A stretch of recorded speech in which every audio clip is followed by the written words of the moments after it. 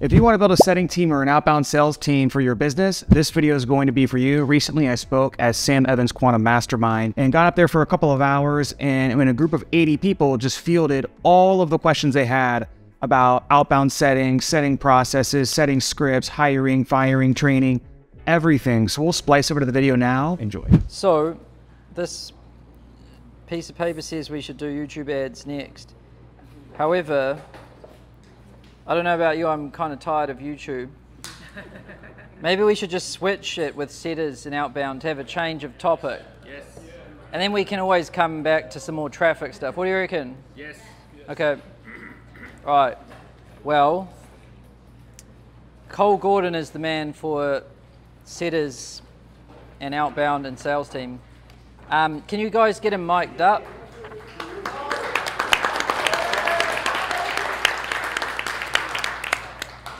All right. So I think the, the best way to start is let's just get all your questions on the board, and then we'll kind of see what the themes are. Sorry. No. Oh, same thing. We can just get all your questions on the board, and then based on kind of the themes, we can like break it up into certain certain parts. But yeah, I don't have like a presentation or whatever, so it's just whatever you guys want to learn. commission structure for setters and closers. All right, so you're going first. So comms. A cadence of meetings, uh, how often or how many? Okay. At what point do you need it? Gotcha. What is a realistic timeline to like get your sales team to already be up and running without you? So ramp time.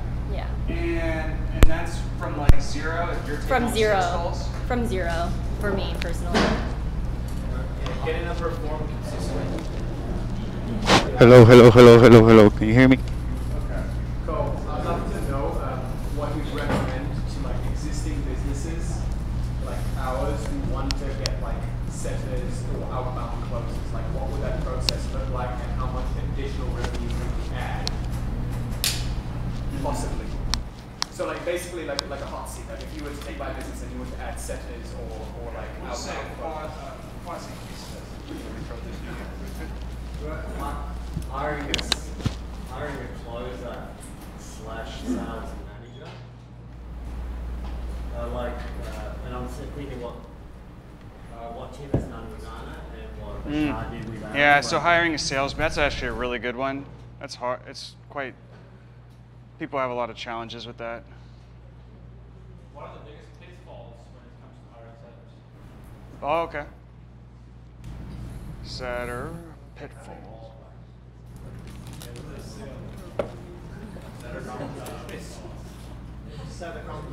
So basically, setter script. What ratios and closing ratios? KPI metrics. Give us everything. No, but this helps them give us everything. So we have to figure out what everything is. Yeah. What else? If there's any strategies to getting more painful, More. Oh, piffs. Yeah, there is. That's. I, I got a really good one for that. great.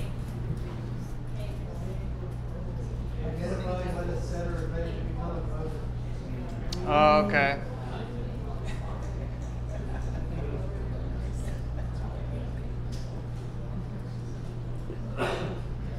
We're the fence of taking the time to invest our energy into learning how to hire and manage a sales team versus hiring someone who's already great at that, and like what the cost would be for that position. I'm gonna basically outsource. Oh, the so like you want to uh, hire the one person who could hire the ten. and then work with them and manage them. Yes. So I would call that hiring a sales integrator.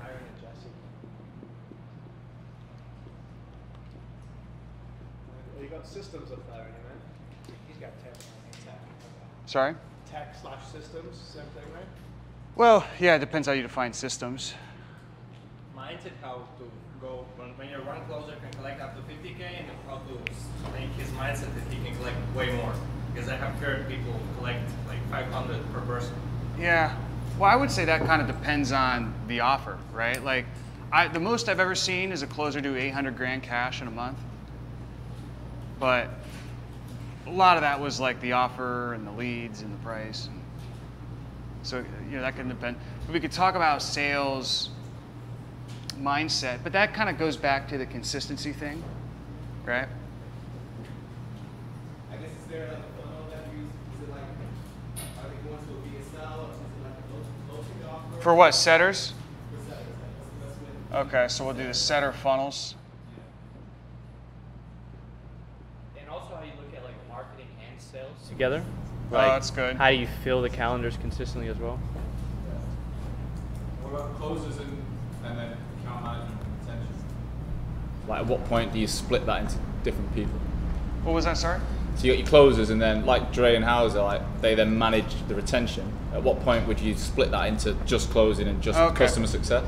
So I'll call that. Uh,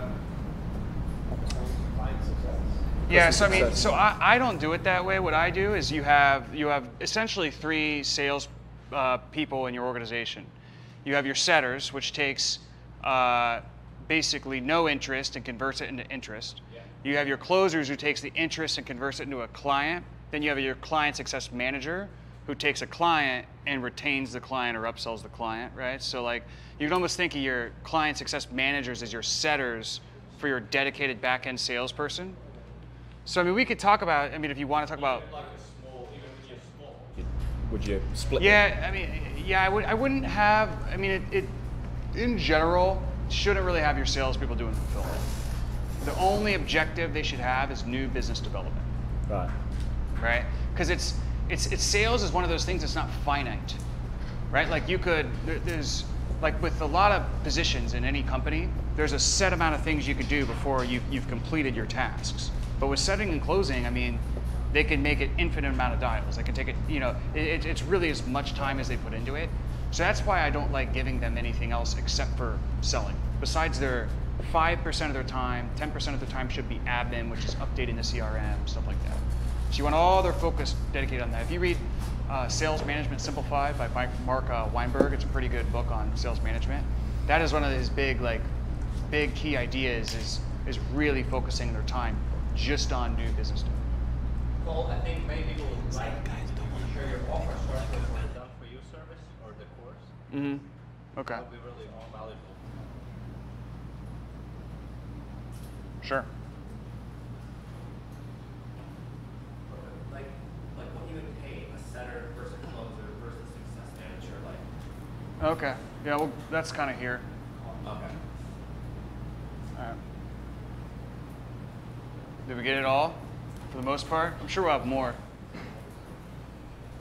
Okay. So I'll, I'll just to make it more interactive, just remember which one was your question, and then I'll call on you, and that way we can make sure you know we have like a discussion about it. So commissions, that's pretty easy. But who asked that? Okay, great. So the, the big thing with commissions is you want to think about it not as the percentages, but as the on-track earnings. Okay? So in, in general, a setter is going to be, you want them to get about four grand a month to, I would say at most nine grand a month, but typically I say four to eight grand a month. What you want to do is, okay, that's like the, the earnings range you want to be able to provide for them. And then you back out utilizing your lead flow, your compensation structure, and what the conversion rates are going to be. You back out the uh, commission structure that's going to get them into that range. So, like for instance, for my B2B company, it's a flat 3% no base.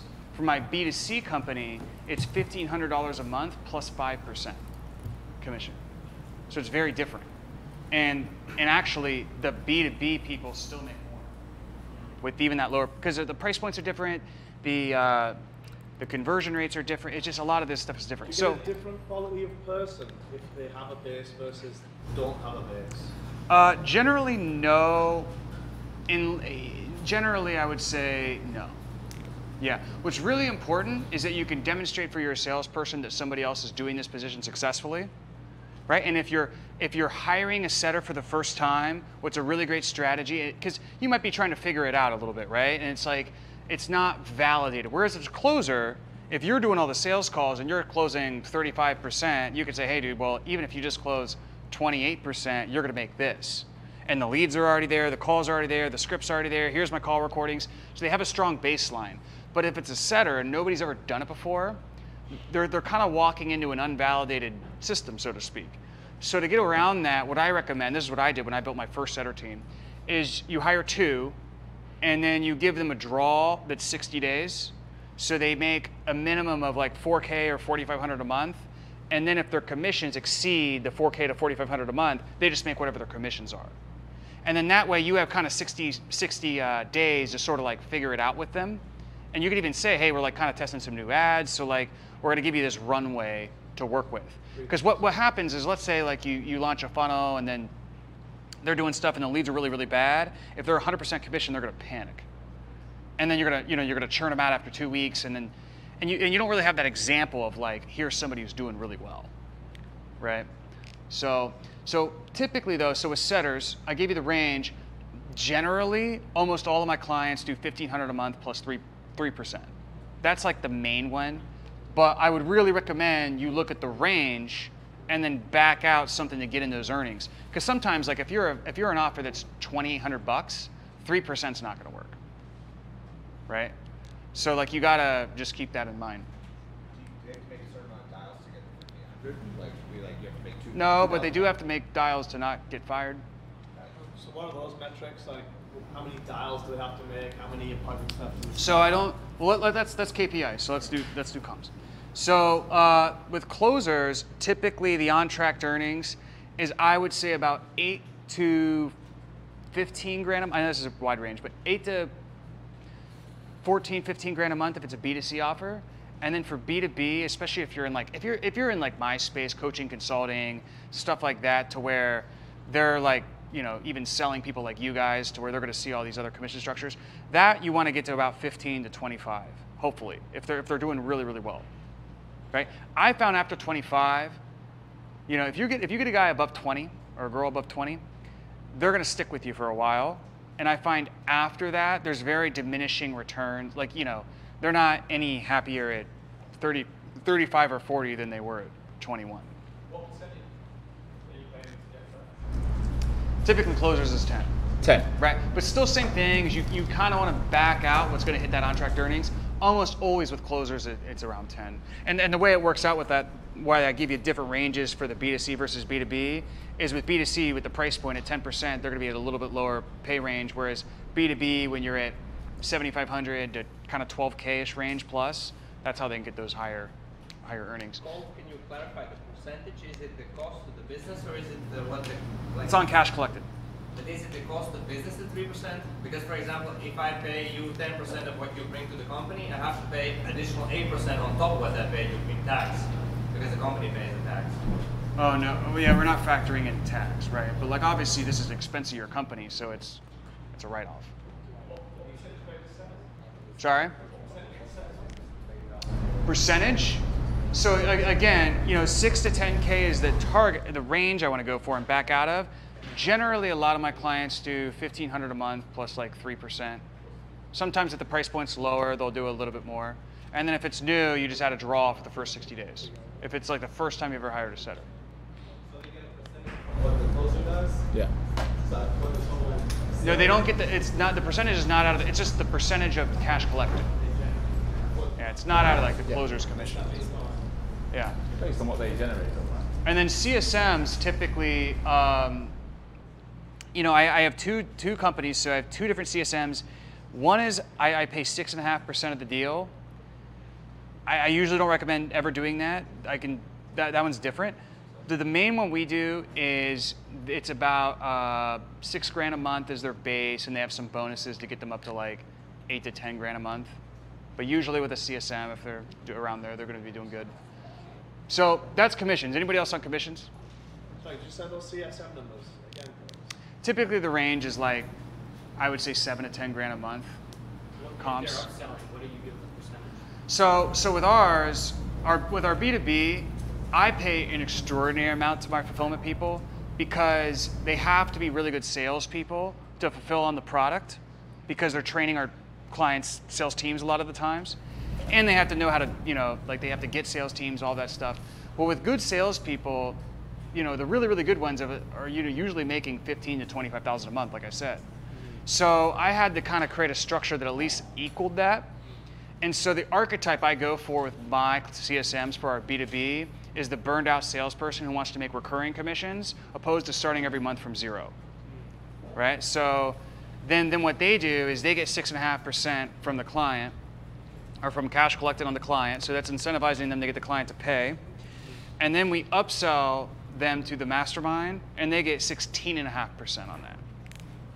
Yeah, so I mean, I got a guy making like 45 grand a month.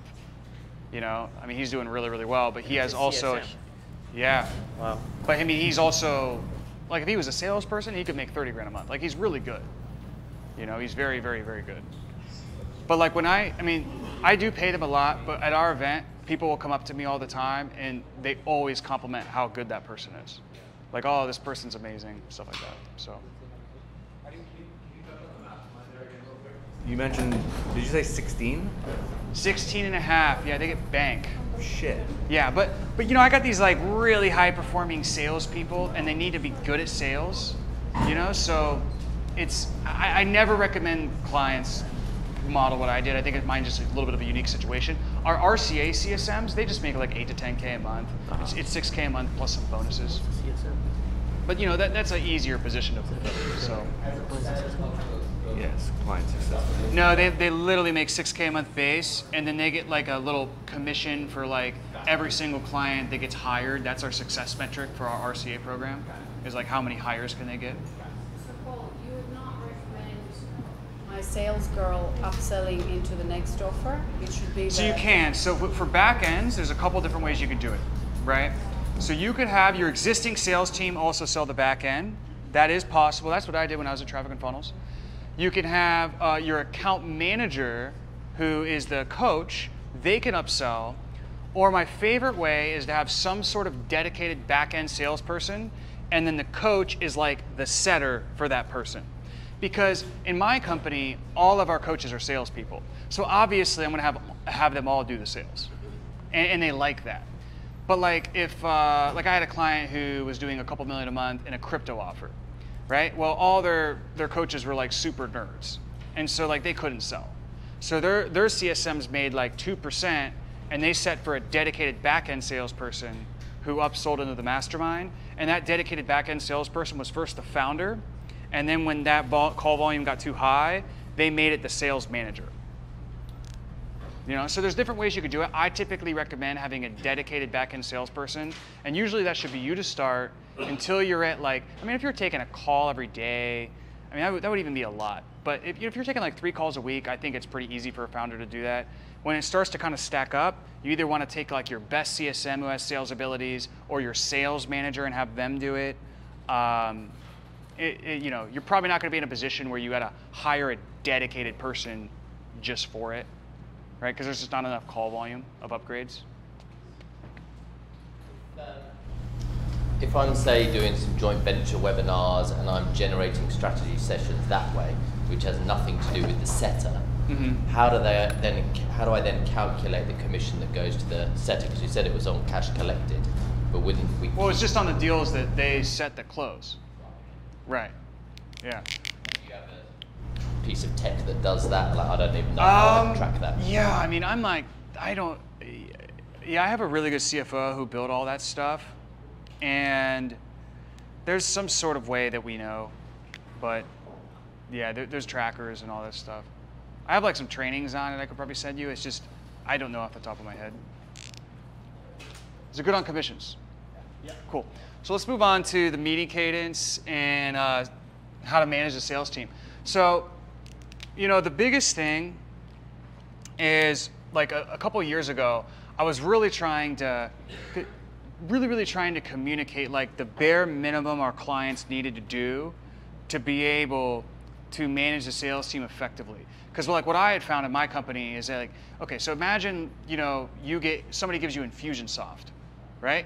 Well, if they just give you Infusionsoft, the chances of you utilizing that product to experience the benefits all by yourself effectively is very low, right? So they give you a CSM to help you realize the benefits of that product. So it's very, very similar of like with a salesperson is we give somebody a salesperson, but if they've never built a sales team before, you know, even if the salesperson is really good, I mean, the, sometimes the chances of them actually being able to run a sales team and utilize and like lead that salesperson is very, very low.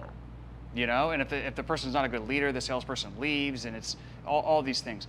So what I created is what's something called the Big Three, and it's these three things that we really always require all the clients to, to do who recruit for us, that recruit from us, that help their sales team run effectively.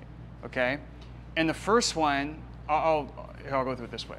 The first one is proper tracking, right? And, and most of you guys, I think, here would have that. But you know, we track basically scheduled calls, which is like you wake up each day, how many calls are on the calendar?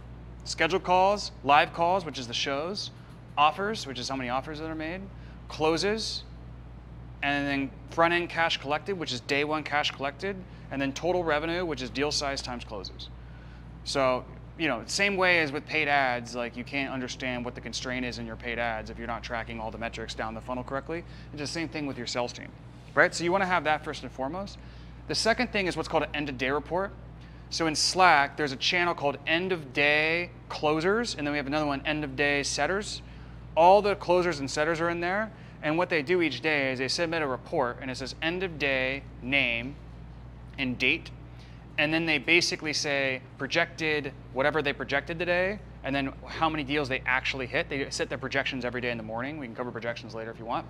And then after that, they list out all their consults and basically like what happened, like what worked or what didn't work, and what is the clear next step slash what was the result. So it'll be like prospect name, and then it'll be like closed one, or prospect, uh, or it would be prospect name and then like to pay, or prospect name pay in full, prospect name follow up set, or DQ, right? So like they put the result, and then next to the result, they write a three to four sentence description of what happened on that call. And then so they do that for every call that they had that day. And then after that, they, um, they we, we have them do some ratings like in terms of how they like how did they feel physically today, were they inspired, did they do the morning routine, stuff like that. But more importantly, at the bottom, they, they do an overall, and that's kind of a synopsis of how they felt about their entire day, what worked, what didn't work, how they're like mentally feeling, spiritually feeling, physically feeling, if they're you know, if they're behind pace on their projections this week, why are they behind pace? What's the diagnosis of that? All of that stuff.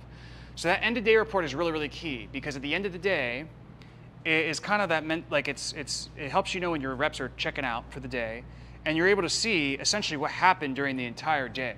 So the sales manager always looks at that at the very end of the day, and goes through oh, and reads every single one, and they're able to determine like, okay, like here was kind of oh we had really bad quality today, or okay like there's these missed opportunities here, you know, or this or like I think this person uh, should have closed this person but didn't close them right? It gives you a very, very good thumb on the pulse of what's happening without, and, it, and it's right into Slack. So without having to log onto your CRM, without having to do any of that stuff. It just pops up as a Slack notification, boom, you do it. So at first you guys should be doing that and eventually your sales manager does it. And then your sales manager overviews all of theirs and then they give you an end of day.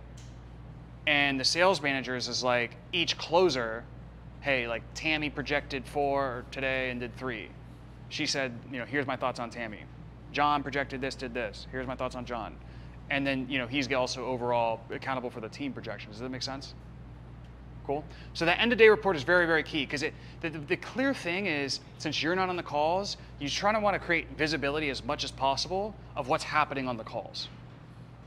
Otherwise, you don't know if it's the lead, you don't know if it's the closer. You, you lack an accurate diagnosis. Okay. And what then? Great question. So, so they report their uh, amount of dials. Their, so like they're going to report um, how many leads they got that day, like assigned from the, the from the rotator.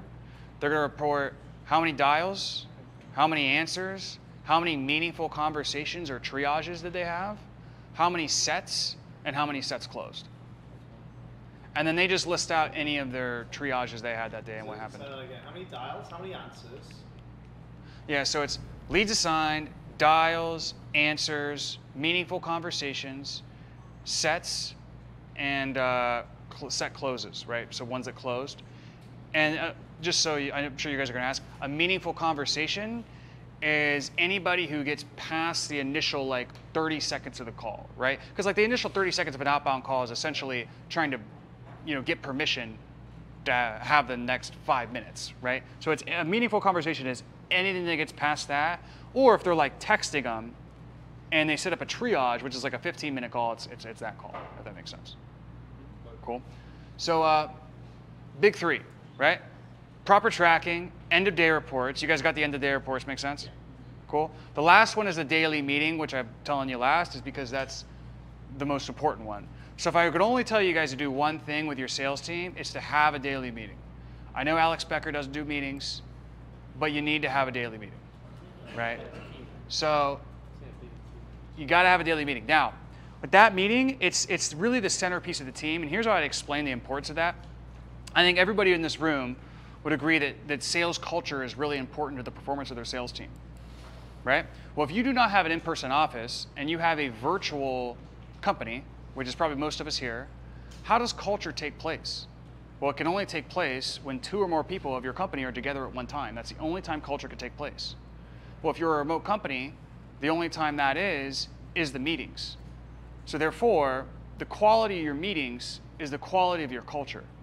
And the sales meeting is the centerpiece of the sales culture uh, of your team. It's really the centerpiece of the entire team.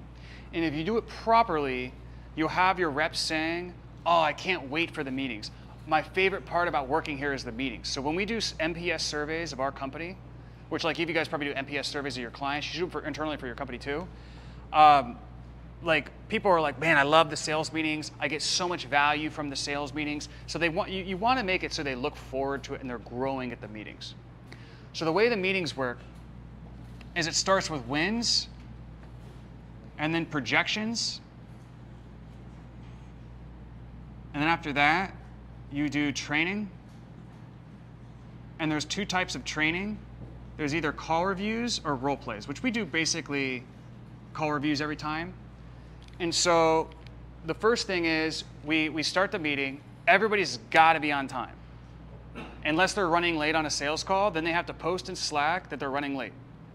If they don't post in Slack, if they're late, they get kicked off the meeting. Then they give wins. So like everybody gets on, somebody kicks it off, and they just all give client wins, right? And you really want it to be, you don't want to be calling on people. It needs to be like rapid fire. So they should be like fighting over each other to give wins. And the, the, the time between one rep to give a win to another rep needs to be very quick. So it's like, it should just be like rapid fire, like super high energy from the beginning. And they're always giving client wins. So this does a couple of things. Obviously, they're going to sit there for five minutes listening to how all of the clients are winning.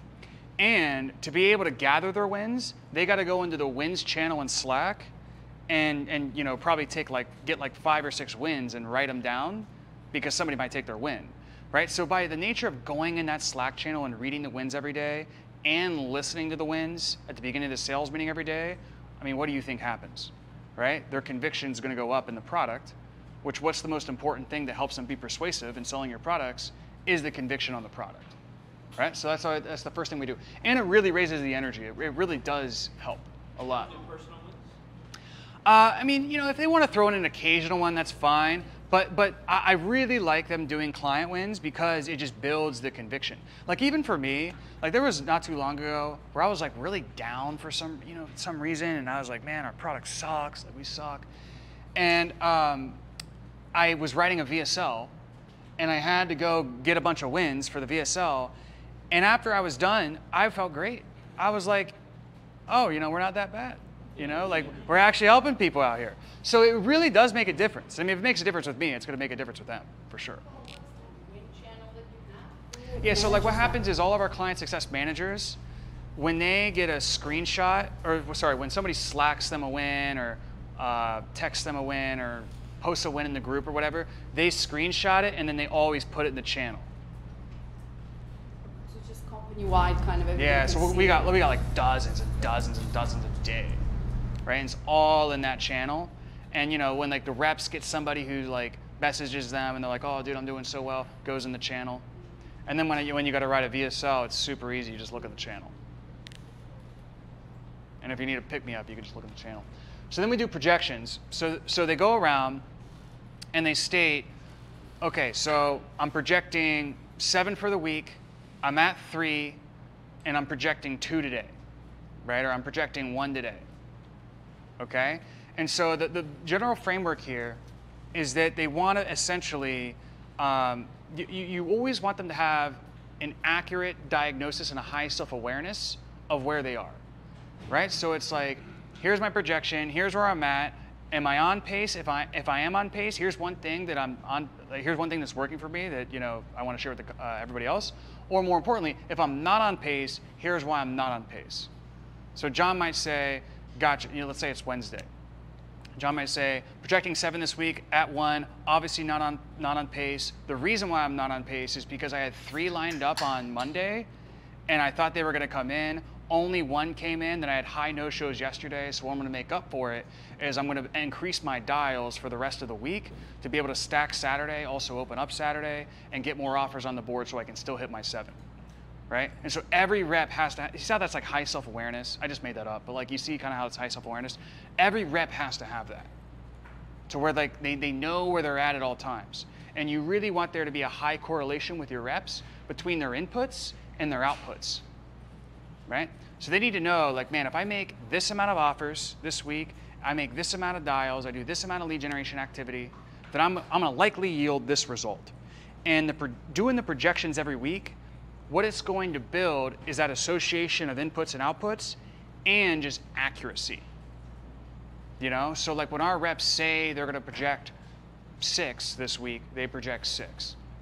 If they're like, oh, okay, I'm taking Friday off, I'm going on vacation, they project five, they hit five. You know, you want you want to make sure they're setting their projections high enough to where they miss it about 20% of the time. Otherwise, they're not. If you, if you read High Output Management by Andy S. Grove, that's where I got this. He sets their KPIs, high, he wants them high enough to where they hit it, even if they did everything perfectly. They put together the perfect week. This is every position. They can only hit it about 80% of the time. Because that's what really challenges people to stretch and grow and all of this stuff. Does that make sense? No, I was just giving an example. But yeah, you know, I don't make them dial necessarily, but like I, like I, they set their own projections. So this is all intrinsic motivation, right? Like I'm not saying, oh, you got to hit seven this week. I'm just like, hey, what are you doing? I'm doing five. Okay, great. You know, like it, it's all about them. And you know, the sales manager's meeting with them at the beginning of every single month and saying, hey, you know, what do you want to hit this quarter? What do you want to hit? Okay, how are you going to break that down? Okay, your quarterly goal is this, so that would mean this amount of commissions. Gotcha. Why is that important? What would that do for you? What are the other personal goals you want what you're doing here at Closers.io to allow you to succeed? So it's really all about like making it all about them and framing it so they're hitting their goals and their targets and they're making a commitment to themselves and to the company not about us using you want to really use an intrinsic motivation not extrinsic motivation otherwise the rep's going to burn out so you really want to make it all about intrinsic uh, Why We Do What We Do by Edward Deci is, is a book on, on that. That's where I got that. Is there a certain like bar or certain like um, I guess number that you just can't go below? If you go below, you know, you can't be in esteem or something like that. Or how do you cut the yeah, bottom? We, we do it by units, and so like for us, we want to see. I don't know what it is right now, but I know for a while it was for our B2C. It was each we wanted each one of them to at least do probably like the target was at least 25 units, but anything below 20 was like you're in you're kind of on a PIP plan for sure. Is the unit the set a sale? Yeah, the unit is a sale. Yeah, so so we do it by units, but I mean obviously if somebody was taking you know there's exceptions right if they're taking a massive amount of calls and they're okay on units but their closing rate is eight percent like we're gonna we're obviously gonna see that pretty fast amount of dials that they have to do per day? So we actually don't do it by dials. What we do it is by just sets per day and sets closes. So you want to see, in, in general, for us, we want to see the setters doing about, I think it is four sets a day. Anything below three sets a day is very bad for us. Generally, I tell clients, especially starting off, just building their setting team, minimum two sets a day. If anything less is two sets a day, then they're, they're probably not good. But you also got to make sure, this is very important, that for the group funnel, you have 400, it's, this, the sweet spot's gonna be 400 to 600 group joins per month per setter. The new group joins per month per setter that each setter has to get. For VSL opt-ins, we found the number to be 750 opt-ins per month per setter that they have to get. For low ticket buyers, it's going to be about 400 to 500 low ticket buyers per setter per month. And that's going to be low ticket defined as anything less than 97. If it's mid ticket, like it's like a 500 to 500 plus course, I would say you can get away with 300 or two to 300, probably, let's call it 300 buyers per month per setter. You see, I just I just know this stuff off the top of my head. It's like for the setter, is it how many outbound dials per, per month? Was that the numbers? No, so so what you really want to look for is how many leads you're giving them per month to make sure they have enough, and then how many sets you're getting out of that, right? So so if you're giving them, I just gave all the recommended lead volume. If you're giving them that, they should at least probably be getting three to four sets per day. Anything i- i- if they're not at least getting two, that's bad. So if you get, if like thirty thousand opt-ins a month, you need thirty setters, is what you're saying? No, so so Okay, it was under- thirty thousand. It's it's so seven hundred and fifty leads per month per setter. So if you- if you're getting thirty thousand dollars uh, or thirty thousand a month, that's probably a lot. Is that what you're getting? Yeah, we get like 750 to 1,000 phone numbers a day, but we don't do anything with them. Yeah. Well, I mean, yeah, you're not going to be able to get that many. I mean, you're probably not going to need that many setters. So your ratio might be like 1,500. But I'm just telling you, with us, we've found, we, we've we've tested all the way up to 1,800 leads per setter per month, new leads per setter per month, and we went all the way down to like four to 500. 750 is the sweet spot, and I've seen that with tons of clients too. How many setters should I close one? Huh? One set, so one closer? So, so I, I do it more based on the lead vol, the how many opt-ins we have. But yeah, the second rule of thumb is typically to follow the one-to-one ratio. Yeah. So generally, as your team scales, usually like if you have two and two, that's great. Three and three, that's great. Four and four, that's great. As you get up to like the five, you can you know you might have five and then six setters, six and then seven setters. It's like the true ratio is probably one to one point like one five or something like that. Like it's it's barely a little bit more. Like I think right now for our B2C we have we have like one or two more setters than we have closers. B2B the same volume of leads. Sorry? For B2B, uh, what's the volume of leads to the setter for B2B? It's about the same. Really? Yeah. Well, one thing to consider too. So for B2B, I use what's called I don't know if you guys have seen my funnel, where it's like I state the op. The first sentence of the copy is the offer, right? So for anything that's in this is in general, right? For anything that's intent based, it, eh, you're going to need typically less leads in general or less leads per setter per month because it's intent based, right? If it's a indirect type of funnel to where like the ad plays heavily off of curiosity just to get the opt-in, that's not going to be as a quality of an opt-in. You see what I mean? If it's a PDF, that's really bad. You know, it's, uh, those leads are going to be really rough. For a setter, is a requirement specifically for the VSL. Collect, collect phone number on VSL to give the setter the opportunity to. Right. So up. collect number on the VSL, 750 opt-ins per month per setter, right? And out of that, you should see three to four sets a day that are good. you could see more. You could see less. Some setters are. Some of them like to just throw a lot on there. Some of them are like, I only want the ones I put on there to close. So some of them kind of have different styles in that way, but I would say generally three to four a day per setter. With our guys, we do minimum they have to do is 10 sets a week, so two a day if they're working five days a week. And then their ba- bare minimum standard for a month is one sale a week, but their, their KPI is eight sales, which we'll get in KPIs, but eight sales a month. Mhm. So two a week. If they set 10, two of them should close, right? Mm. That's bare minimum. And that will be on, on track earning between four and 8K a month. Okay, okay.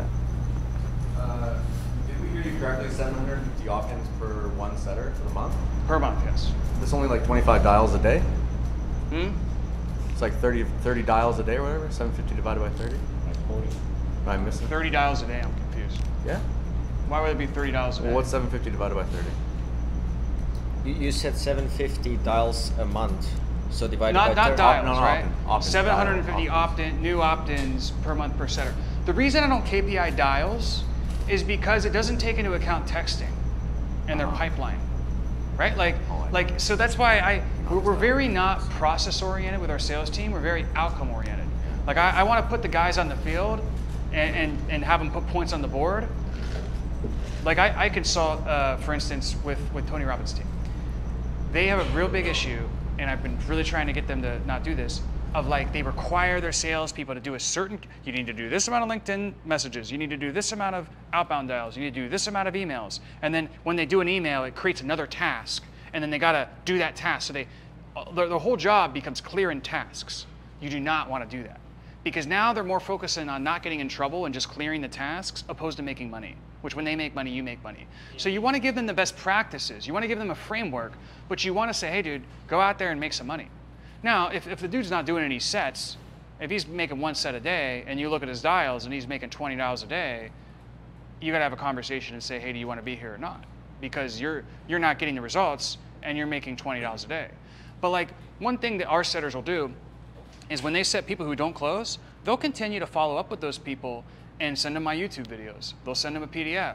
They'll say, hey, how's it going? They'll say they'll use a reoffer, which is a really good follow-up message that we use, right? They'll also, uh, they'll text every lead that comes in and set up triages, right? So like sometimes our setters dials will only be 20 to 30 a day, but that's because they're stacked on triages, right? They'll, they'll have, they'll, they'll you know, be texting leads all weekend and line up their Monday with like 10, 30 minute calls. So they're gonna make 30 dials at, you see what I mean?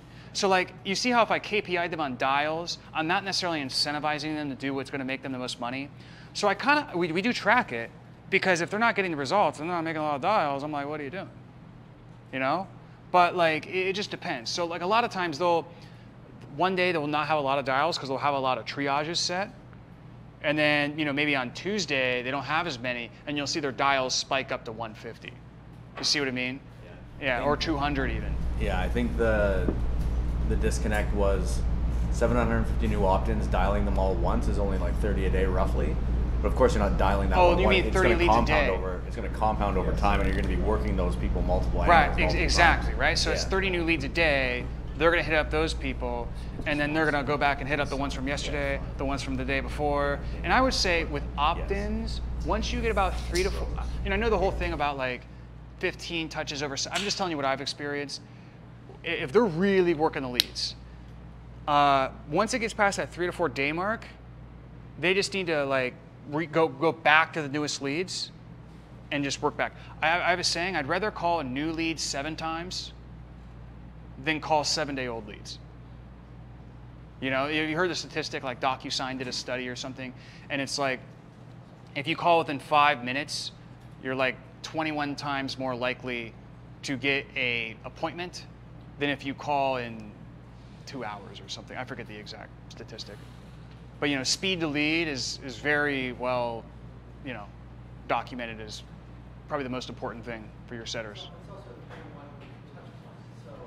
If you're rewarding dial. it's the wrong metric.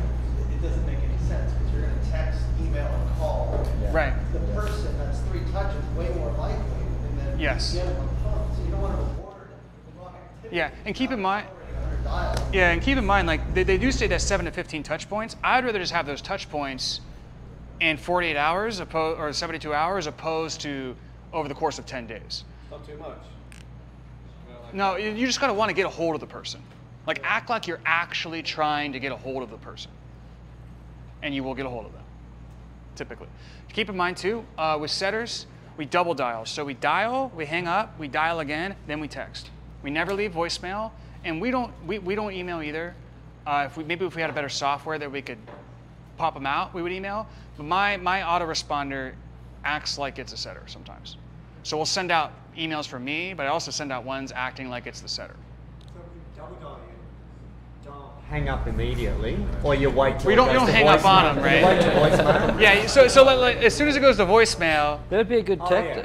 Yeah, Okay. so No, no, I so so yeah, so because like you, you when somebody calls you twice, you're more likely to answer. Yeah, the yeah, other yeah, I know, thing, I- I'm kind of hopping around, checking, but 'cause when you- the other thing, so double dialing is key. Uh, the other thing that is very key is using local presence, which means that like if you live in Arizona, the numbers that call you are going to pop up as an as an Arizona area code. So so you can imagine if you get one dial from some crazy number, but then you get two dials from the same area code as you back to back, you're more likely to answer that. What software do you use for that? So we use Aloware, but I will say, there, there, there's a big software gap right now for a good dialer. So Aloware? Aloware, A L O W A R. Yeah, the, the problem we find is that there's there's a lot of good ones with local presence and a good dialer and all that stuff. Uh, and there's some that have the text function, but there's not really a good one that has both the text function and the um, the local presence and the power dialer. So yeah, there, there- there's a good opportunity of something that has all of those and that, and that integrates with HubSpot because we use HubSpot. What do you use for that company? For texting? Aloware, yeah. Aloware for texting We use both, yeah. We, we're going to try actually using what's called Orum, which is O R U M. This dialer rips. I mean, it's so fast. And you can do a parallel dialer, which what happens is you call 20 people at once, and then it connects you with anybody who answers. So we're going to try that, and then we're going to keep Aloware just for texting. So that might be a new thing, but then again, like kind of janky. What happens if multiple people answer? I don't know. Yeah, I don't know. So the, wa- the way those typically work is uh, it's a queue. So like Close has it, it's called a predictive dialer. So it'll call multiple people at once, and you have multiple people on the back end in a queue. And as people pick up, Close will direct the call to that person. So you don't have just have one person using it; you have multiple people Oh, using it. I get you. Yeah. Yeah. So uh, moving on, right? So big, big thing is is you all should do a daily sales meeting for an hour, right? And I'm telling you, it makes a huge difference. And the most important part of this, actually, really the most important part is projections, because that's really the accountability and where you help help them build their self-awareness to where if they're not getting the results, why are they not getting results? Because once you have a, a rep that can self-regulate to the point to where they, if they're not on pace for their numbers, they can self-diagnose of why they're not on pace. It makes it much much easier on you. And then with the training, we do a call review every single day. And so what you do is you look at the end of day reports from yesterday, and you look at all the, the consult summaries, and you can usually find, oh, that one looks a little fishy, right? Uh, that one, why was it a why was it a five pay, and it, you know this person was a, you know, a lawyer or something. I don't know. But like you look at these ones that are fishy, and you pull up a couple of those. You have the VA pull up a couple of those. Then you just do a random call review. And then typically what you want to do is you want to find one to two things for them to work on in that call review. Once you find it, you point it out, you identify it, you teach why it's wrong, you teach what to do differently, you ask if that makes sense, and then you demonstrate you doing that effectively, and then you ask them to demonstrate it back to you. That's the framework you want to use. So just make sure, like when I used to do call reviews with my sales team, and I, admittedly I still do this a little bit, is I would just eviscerate them. I'd just be like, this is wrong, this is wrong, this is wrong, this is wrong, this is wrong, this is wrong, you suck, this is wrong, this is wrong. And that just doesn't work very well. Like they get demoralized, they overthink it, they're just changing everything all at once. So you want to find one thing. It's like Mark Roberge says, uh, you know, he, he hurt his wrist one time because his uh, golf instructor was like, turn your wrist like this, bend your knees, bend over this way, like, like pull your arms out this. And it was so many things at once to where he became really awkward. Whereas when he took like 50 swings and the golf instructor's like, yeah, just bend your knees a little bit and then take another 50 swings, that's what you want to do with your sales team. Does that make sense? Cool. So that's training. Uh, any questions on that? to get the leads.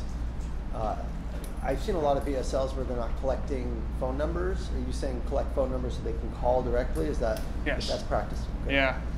Yeah, and there's a ClickFunnels script that uh, validates the phone number. I have that.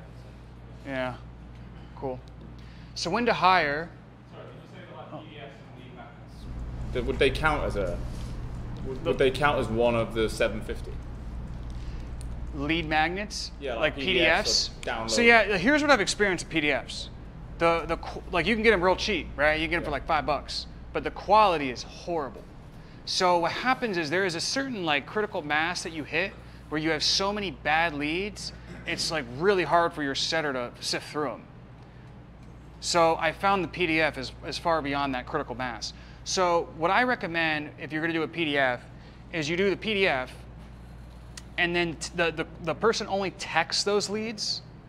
And then on the thank you page, you offer a free course.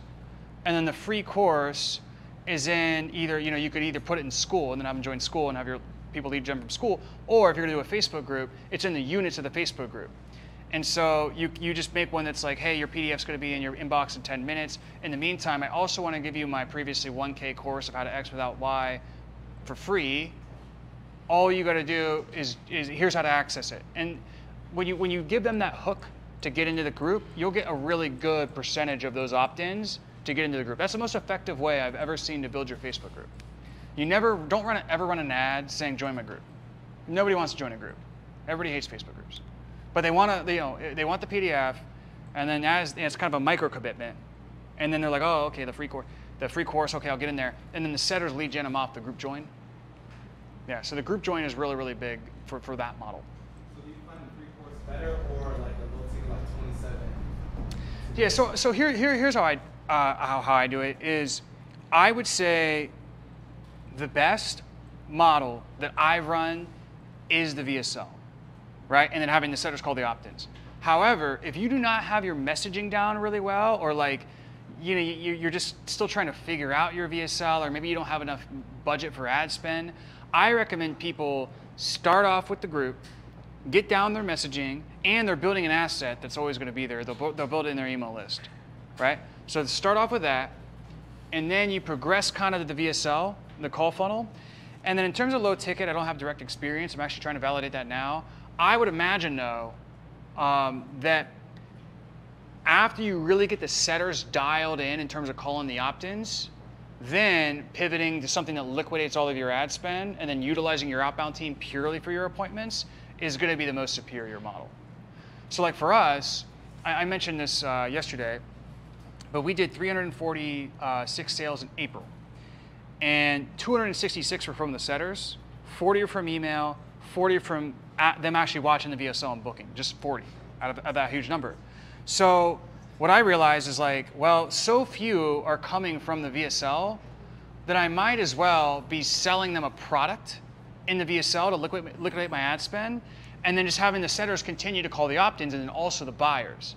So like I kind of think that's the evolution of of the acquisition. Now, if you're if you got a YouTube channel or you got a good organic following, just go right to a call.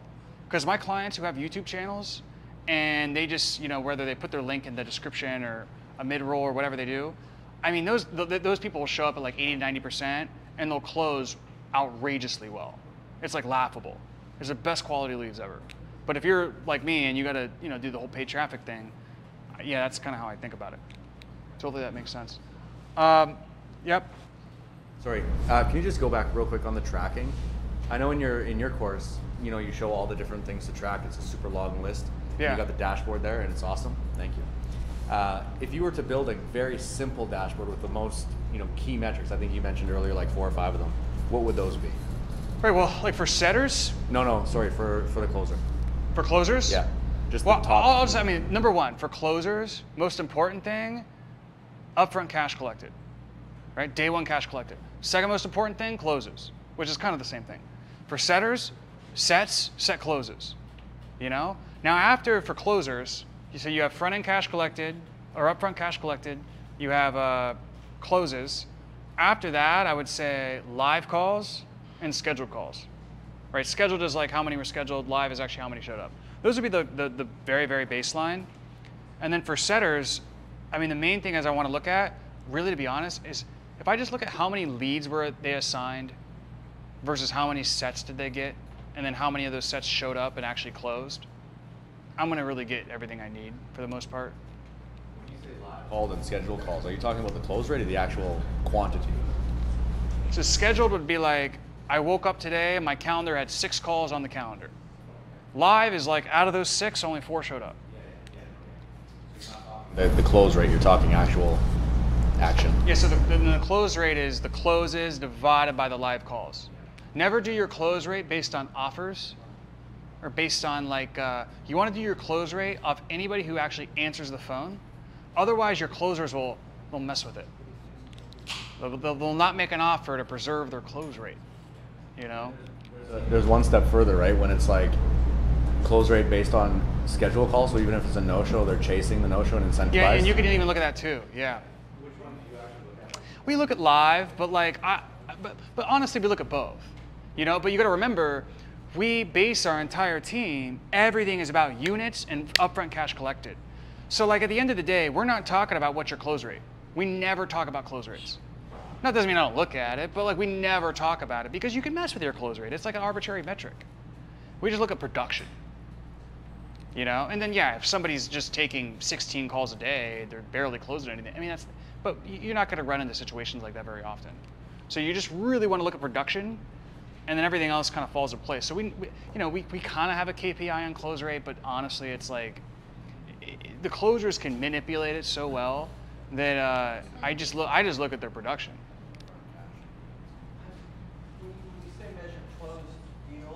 Cash collected, wouldn't those occur on the same call or are they? Yeah, they do.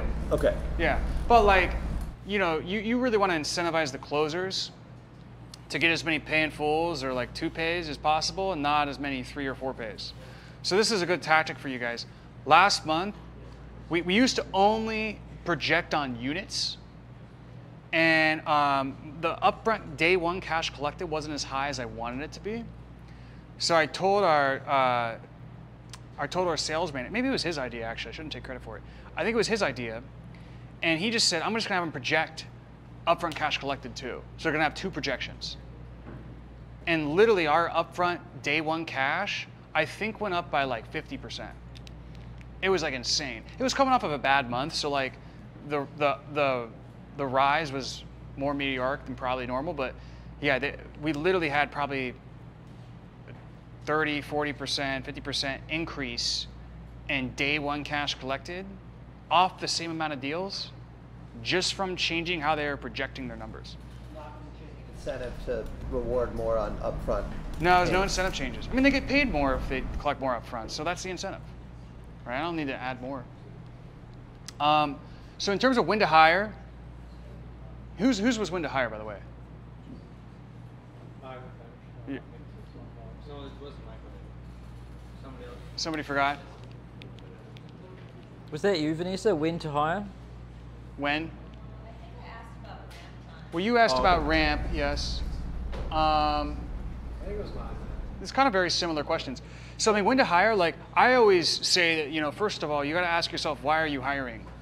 You know, you're, you're either hiring to buy back one of your time or an executive's time, and or to alleviate a current constraint in your business. Right? Like really, a hire should be there to either buy back your time or your executive's time, or to alleviate a current constraint in your business or build for certain, uh, for future growth. My- So my volume is so low because Yeah, so- could my seller be my closer as well? Or do would you definitely Well, yeah, to- I think for you, you'd probably have to pay a base because there's just not enough. There's not even enough leads out there, like incoming. But if you paid a base, that's fine. Um, you know, for, so here's what I recommend for closers. You want to be able to provide at least three new calls a day for the closer. Right? Generally, if you're going to be 100% commission, all that stuff. If you're going to throw in some bases and do all that stuff, I mean, yeah, you could work the position differently. Like if, if you got somebody who's traveling you, with you to events, they're, you know, handling a bunch of different promotions. Yeah, you got to comp them differently. But 100% commission, I would say for, for most of you guys, three calls a day minimum. And then for setters, it's it's the stuff I said earlier. For opt-ins, 750 per month per setter. For group joins, it's about 400 to 600 per month per setter. For buyers, it's about probably 500 to 600 a month per setter.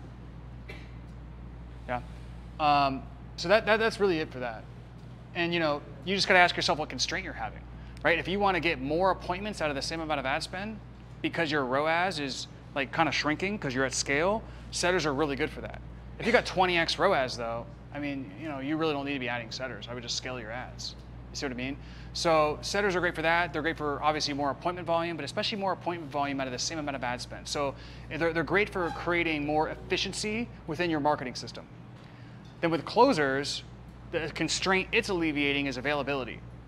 So if you're at a place where you're like, man, I could I could scale a lot further if we just had more spots for calls. Like I could easily scale my ads, I could easily up the marketing, then you should hire a closer. Or if you're doing all the sales calls yourself and you're like, man, this is taking up a lot of my time and I really don't like it, and I'm and I'm good at it, I'm good at it enough to be able to transfer that skill to somebody else, then then that's a great time to hire a closer. Ad spend strategy to a quick 15 minute call to kind of pre-vet them and then jumping on an hour long call with the pre-vetted people. What are your thoughts on that? Oh, so you mean like a 15 to 60? Yeah. Yeah, so if you're the founder, I think that's okay. Generally, though, the 1560 model I've never found to outperform just direct to a 60 minute call. For, for most coaching and like B2C type offers, right? If you're B2B and it's more of a enterprise sale or it's a little bit more higher level, then then yeah, you you know you might have to do a two call close, and you could do it with a setter and then a closer. But I also find if if you're talking a big deal price, and um, it's a longer sales cycle, it's more B2B, you should just have the closer do the first call and the second call. Because like the setter usually doesn't really help the effort there with the fifth. There's not, they're not providing any value at all. It's just, yeah.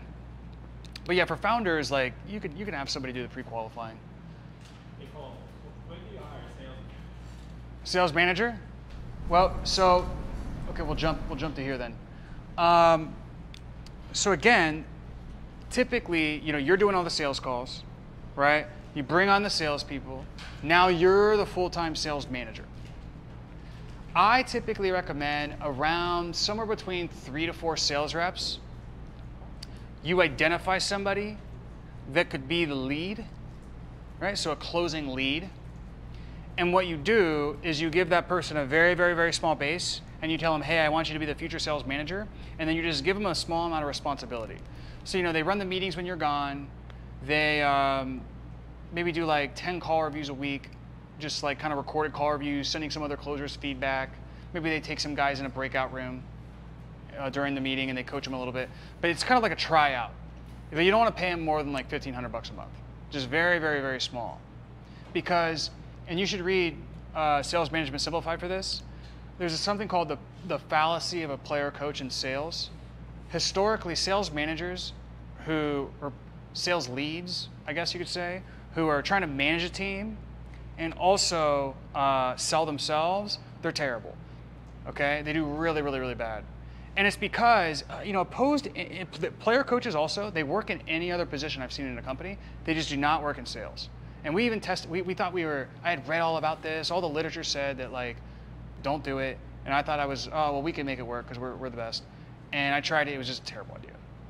You just don't get, you know, you're, you're going to overpay them and not get nearly enough output that you want from them. And it's just because with sales, if you're selling, it's, it's a total selfish mindset, right? And I don't mean selfish like you only care about, you know, yourself and you're a narcissist. I just mean like you're, you're thinking about, you know, essentially how can you make the most money because that's going to make the company the most money. And you could always do more prospecting, you could always take more calls, you could always make more offers, you could always nurture your pipeline more. It's, it's one mindset. But sales management is totally selfless. You're passing all the, all the accolades to your reps. And there's also no limit to the amount of coaching and amount of pouring in you can do to the reps. And so I find that trying to have somebody do both is very, very hard. And even if you have somebody who does both and you're like, well, you know, they're doing pretty good, I guarantee they would do better if you just had them do one or the other. I can't tell you how many times I've seen people, they're like, well, my, my reps, you know, this rep's doing a lot of revenue for me. Like, I'm just scared to like take them off calls. It's just like, well, like you should be more scared of your other reps not being as good as that rep. But the only way that rep's going to be able to transfer their skill set to somebody else is if you take them off calls and allow their full-time responsibility to be getting all those people selling like they're selling. And that's when really the team starts to rise all up. So it's very, very key. So what you want to do is around three to four closers, um, you know, if you really want to get out of it, try to identify your superstar. Usually at four people, you end up kind of having this person who's like pretty good. And then so you kind of make them a sales lead and you start really just kind of trying to pour into them and train them and like see how they're coaching and gives them feedback, but very minor responsibility, they're still selling. And then when they're ready, you move them up into a sales manager. And then that's when you give them all the responsibilities minus the team meetings. So you do the team meetings every single day, but you have them do everything else. So they do the hiring, the ramp. I mean, you might do the final interview on the hiring, but they do the initial hiring, they do the ramping, they do the training, uh, they'll do the, the, meetings when you're not there. They do all the one-on-ones with the sales reps, and they'll do a certain amount of sale, uh, call reviews per sales rep per week, right? And so once you have them there, you do the meetings and you hold on to the meetings, and that's just to place guardrails on your team. Because a lot of times, what I've seen very many times, is you hire up the sales manager, and you're so sick of sales management to where you're like, well, thank God that's over, and then you're gone, right? I mean, it's just the pendulum swing, right? It happens constantly. And then the sales manager, like, you didn't give them enough coaching, you didn't grow them well enough, you didn't give them enough feedback, and then they kind of take over. And what happens is the reps will only be as good as that manager. Well, if they're not trained properly, they're not doing their job, et cetera, the, the team starts to falter, right? And then it's three months later, and you're like, man, I've been working on the marketing, my sales team sucks now. And you go back to the sales team, and then you, you start digging in, and you just figure out it's a mess. You lost your culture, you lost everything. Then when you take it back over, everybody quits. So this, that, that's what happens when people usually, they, their sales team stinks, and so they hire us, and every and like that happens, and I'm like, okay, well you got to let go of that person, and yeah, so that's how you prevent that. You hold on to the sales meetings, and then what you do is it's a volume knob, not a light switch. Right? So you're doing five meetings a week, and you say, dude, you run the Friday meeting. Because you're no longer doing the Fridays. Then you're like, okay, you got Fridays and you got Wednesdays. Right? And then you're like, okay, you got Tuesday, Wednesday, and Friday. I'm gonna do Monday and Thursday. That way you can kind of like, you're there twice a week. And then you give away Thursday. And then you're only doing Monday, which is the most important day, because that's when you're setting the projections and kicking off the week on the right start. And then eventually, you'll get to this point where you're like, honestly, like, it's kind of weird for me to be here. Like, it's like you feel like it's like, I don't know, it's like, you, you, you almost like, uh, it's not even like my team. Like, you're, you're better at this now. So, like, when you got to get to that point, you just give away the Mondays, and then you just pop in whenever, see how it's going, pump them up, make an announcement. But then you're good. And you can do that pretty quickly. But you know, you just slowly phase it out. And then that way you know your, your team's gonna be on lock. Right? So did that answer your question with sales managers? Yeah, there's a lot to it. I mean, I have two. But um, close at 35 to 40 percent. But I'm not doing much of a sales management, so they just they're just responsible for reporting their yeah, uh, we only have two people. closing. It's see, it's just I really I know we can do better if we had a sales manager, but is it well, if they're closing 35%, I don't know if you really need one. Yeah, I think you should just you know do the daily meetings with the guys, review the calls. One hour a day? Yeah, you're like you're Yeah. good. It's two people. Yeah. Right. But when you have like, especially if you have three set, like four setters, four closers, that's when it starts to get to the point where like you really need somebody to take over. And when you hire that sales manager, I recommend having to, having them do both the setters and the closers until they get 12 direct reports, and then you hire the setter lead and the setter manager. Yeah. And then they have six and six, and they start kind of building back up.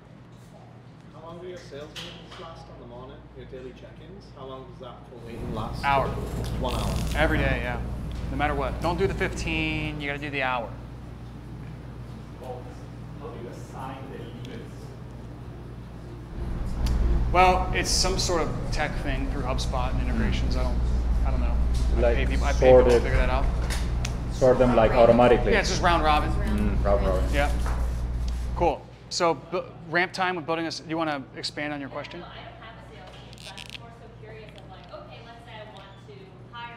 What is like this first step to the last step? Like, how long would it realistically take to get to a place of actually having a sales team that runs without you? Sure. Like, what is it? Three months, six months? Like, what's what's the expected No, it'd be quicker than that. I mean, so like first of all, you got okay. Let's say you want to hire.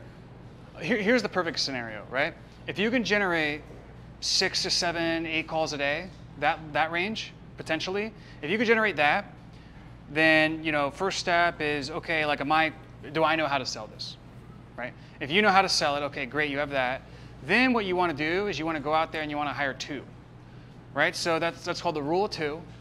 And the reason you want to do that is when it's the first time you're hiring a sales team, you don't know what you don't know. Like it's like if you like for instance, like I, I've never built a development team, but I imagine, you know, I probably am not going to be very good at hiring a developer because I have no idea what, you know, I, I don't even know what a good one looks like.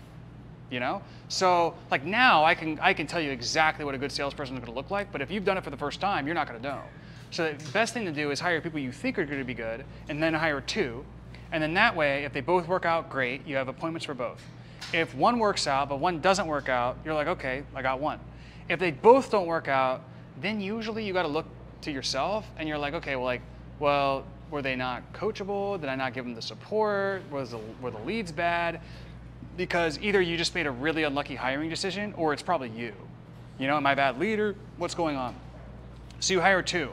Then once you have two, typically I, I do the first uh, seven days is kind of them just drinking from the fire hose and learning like what you sell, why you sell it, the mission, vision, and values of the company, going through all of the testimonials, going through kind of your sales training of how you sell, and then just a bunch of call reviews, right? Or a bunch of call recordings of yours.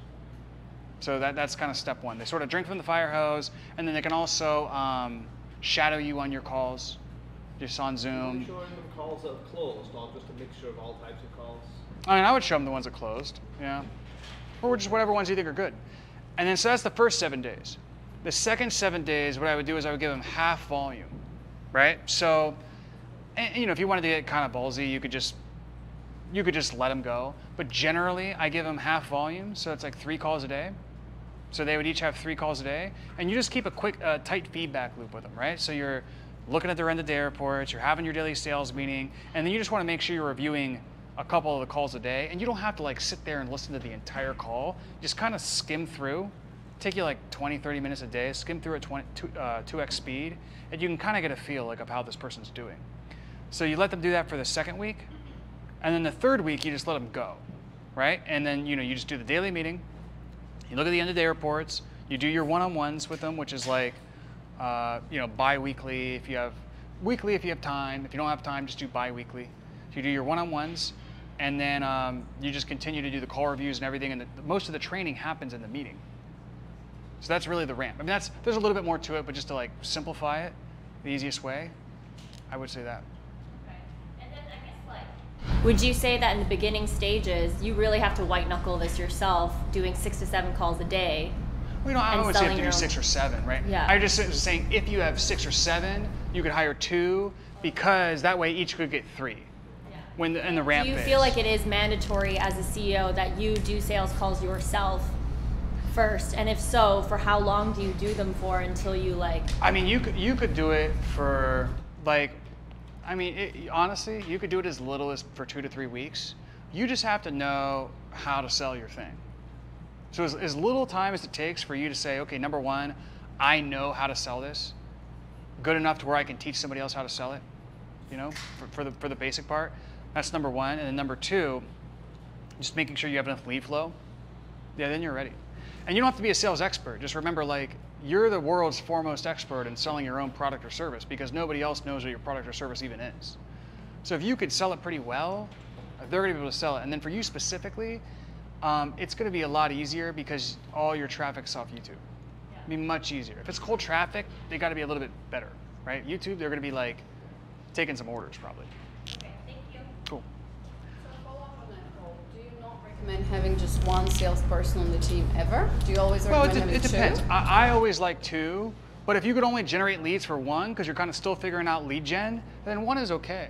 You know, um, like for instance, if like if you have ads working, let's say you have a call funnel working, I don't know why you wouldn't have two, right? But let's say you're kind of you're using your email list a little bit, you're using Instagram, but you really don't have that system in which you can pull the lever and like scale your leads, then maybe you can only do one for now because you don't have lead flow for two. But Three, four calls a day, they're not making enough money. Well, you would want to ramp them to where they're making six, like they're doing six calls a day. And how do you manage the lead flow? Because we've had the experience, it's up and down, up and down, and somebody complains, and not enough lead flow. Yeah. Well, I mean, that's a marketing thing, right? So you got to look at your marketing and why it's inconsistent. You know, it just comes down to comes down to that. Um, cool. So consistency. Who asked about consistency? Y'all forgot. Who has a? I want to make sure I'm like answering questions of somebody who, who has it. So. Let's talk about consistency. So. Okay. yeah, and just in terms of like getting them to perform, obviously you do the daily call, which has been Right. So, so a big part well. is the big three. Yeah. But I'll give you the other big tactic for this is you want them to pull, like you want them to create a greatest hits list of all their best calls. And then what you want to do is help them establish a morning routine where in somewhere in that routine, they listen to one of their wins at 2x speed every single day. That is the biggest, biggest, biggest, biggest, biggest thing. Because it reminds them that they, like, have you ever been a sales slump? You, you kind of like, did I forget how to do this?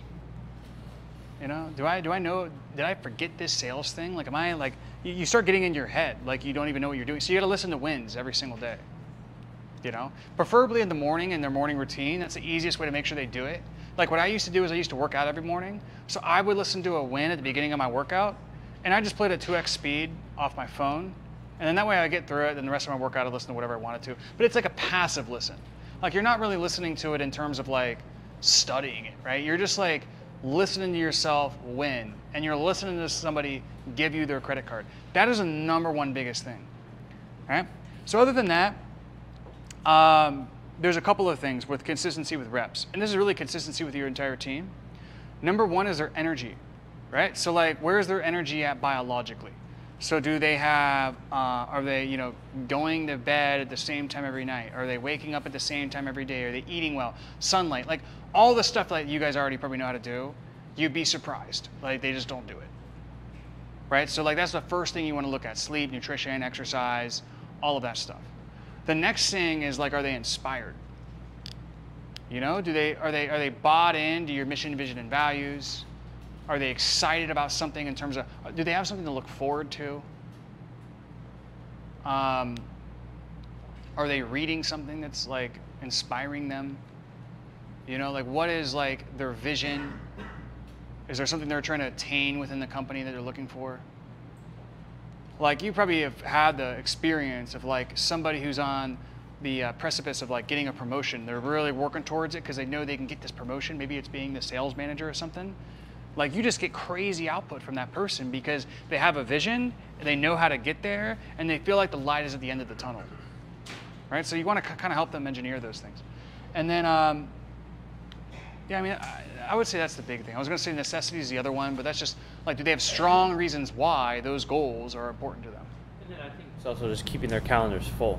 Because Well, of course, what yeah. we found is like when they, if you have full calendars, they perform better. Yes, regardless. yes, that's true. Yeah. You, you want you want that the calendar to be a solid color. So there's a rhythm to it, you know, for sure.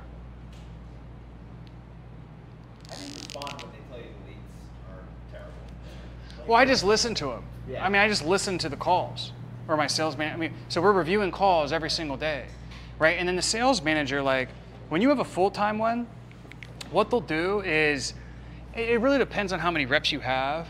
The key is to pull up a bunch of calls, like have a VA just give you all the Zoom links, and then you just go through like the first 10 minutes and the last 10 minutes, and you do it at 2x speed, and you can actually like, I, I can get through 15 calls in like 90 minutes right? Like it's you just want to go through them really, really quickly, and you'll be able to see. Sometimes it's like, no, you guys stink. Other times you're like, wow, I didn't even realize like that. Like, I, you know, you you're you're getting people out of the dark depths of Facebook, right? So like, I mean, that's happened to me too, where I've been like, oh I, wow, I didn't realize our leads were this bad, and that's good for you to know, because my default was always like, no, you guys suck. All right, so yeah, the, the way you know is just by listening to the calls.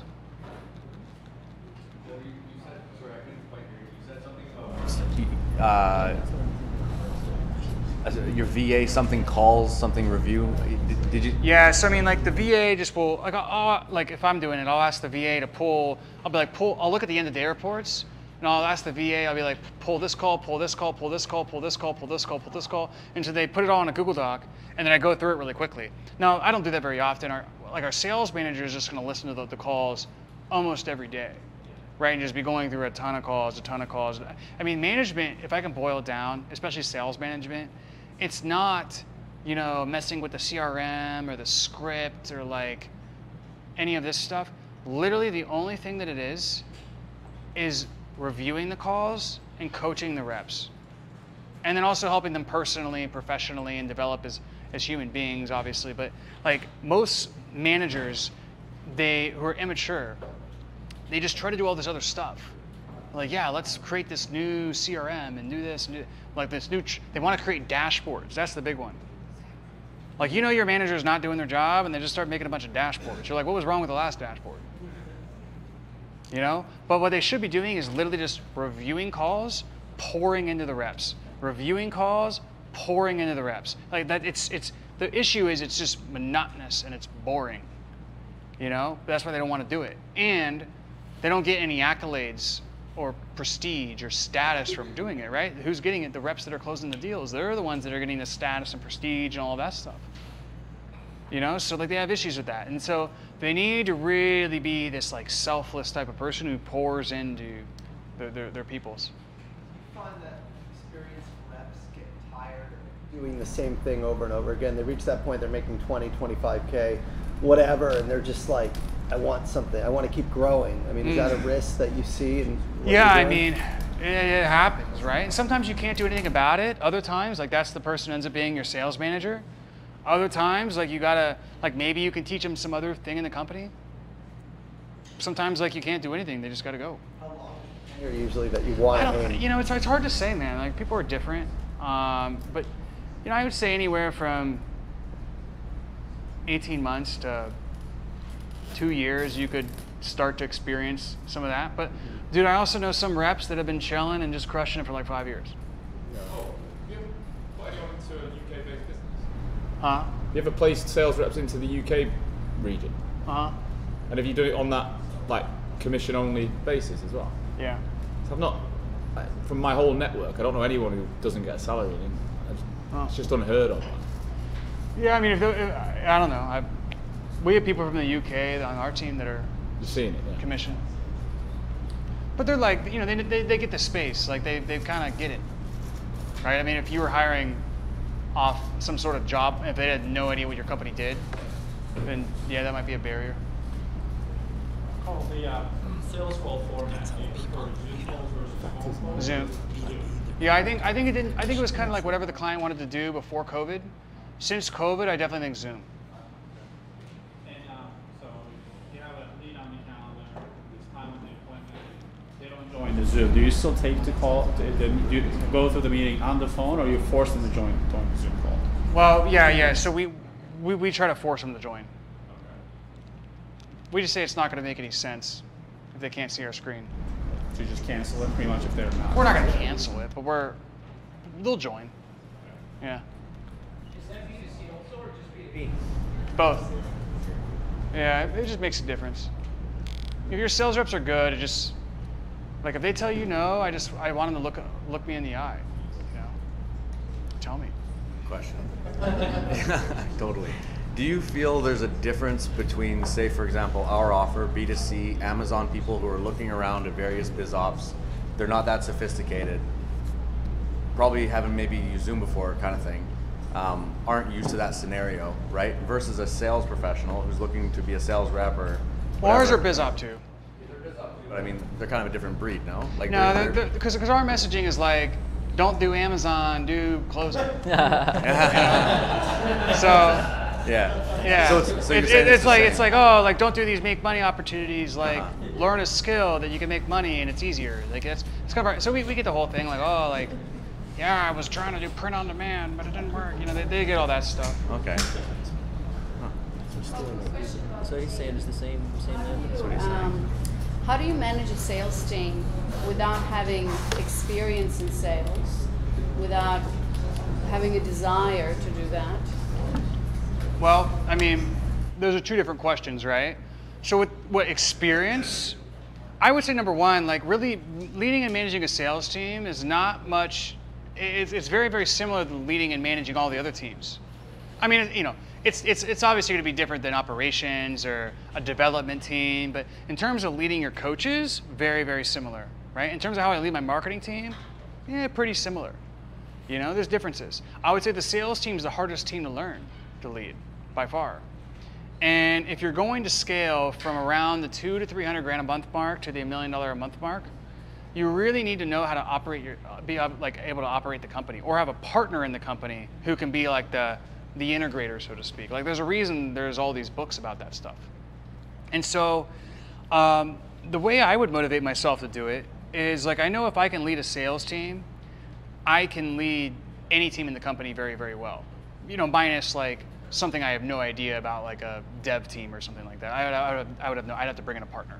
You know, so uh, part of the reason I think we scaled so fast is because I knew how to manage a sales team before I started my company. So then when it came to hiring and building teams, I was already very proficient because I think the sales team is one of the hardest. Uh, I mean, it's just very performance based. It's very like, that's a great question. Um, it's just, you, you have to be really great at coaching people to success, right? Like, I think with an operations team, for instance, it's like, did you get it done or not? You know, even with marketing and project based teams, it's kind of like, did you do it or not? With, with, with sales, it's like you kind of got to coach them through whatever thing they're going through, and then you got to really, it's like you got to be on top of them, and it just the the consequences of it not being done very well is pretty high. You know? Your first business closer, I hope. Yeah, pretty much. And it's only three years old. Yeah, not even. It's like two and a half. Hey, cool. With the tracking, do you have your reps enter in their stats manually, or do you automate? So what we do is the a VA every day has a Slack channel called Closer Stats. They post like a thing that has like scheduled calls, live calls, all that stuff. The closers input their data, and then the VA manually puts it in the sheet. And then also because you know they're gonna forget, right? So then the VA also pesters them if they don't give their stats. Because like the issue is if you have the closers do it and they do it one day, then three or four days goes by. You gotta go back. Well, the issue is three or four days goes by, and then you remind them, and they finally do it. They always will misremember their numbers. So then your your data's all messed up. So you gotta have somebody responsible for like getting it every day and then entering it in, because otherwise it just falls by. The, you know, salesmen love admin, right? So like they, yeah, they just don't do it. So yeah, that's and then the, the VA too, the operations person. Then they also like they kind of like look at the salesperson's calendar and they look at like their numbers versus other people's numbers and they kind of also call bullshit and see if they just make sure the salesperson's being honest. But yeah, you have to get some of that data self-reported.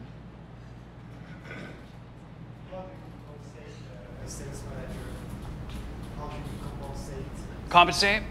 Yeah, so I mean, there's a lot of different ways to do it. I used to, so now the guys who run mine, they're on profit share. I think that's a great way to do it once you're really committed to the person. I think it's probably the best. Uh, but my guys also do fulfillment. They're kind of like uh, like Jesse was for Sam, you know. So I have one guy for my B2B, one guy for my B2C. Um, but there's different ways you can do it. I think the best way is to pick like a good on-track earnings that you want, and I would say generally, like if what you want to do is you want your salesperson, or your sorry, your sales manager, to make a little bit less at the beginning, but with more upside and also more downside. Because if they make a little bit less, but that they're not on calls, that's a huge win for them. So they're going to feel like even though they're making less, they got promoted, right? So let's just say a little bit less with more upside and more downside is 15k a month, right? So what I would do is I would pay, and, and, and there- there's a lot of different ways you could do this, right? But let's say you pay half a base, so you pay 7.5k a month, and then what you do is like this. Shit. So this is the projection. And so if they hit like, because your, your, your team's going to set a projection every month, and, and you're really going to set that, right? And so you want them to get to 15K a month on tracked earnings, which what's 7.5 divided by 5? That would be, can somebody do that real fast? Huh? Is, is it 1.5? Right. So this is the target, and then it looked like this. So, you know, there's a projection every single month, right? And let's say the projection, just for easy math, is 100 units. Like you're, you're to do 100 sales this month, and you decide that. If they hit that, they're to get 7.5 plus 1500 plus 1500 plus 1500.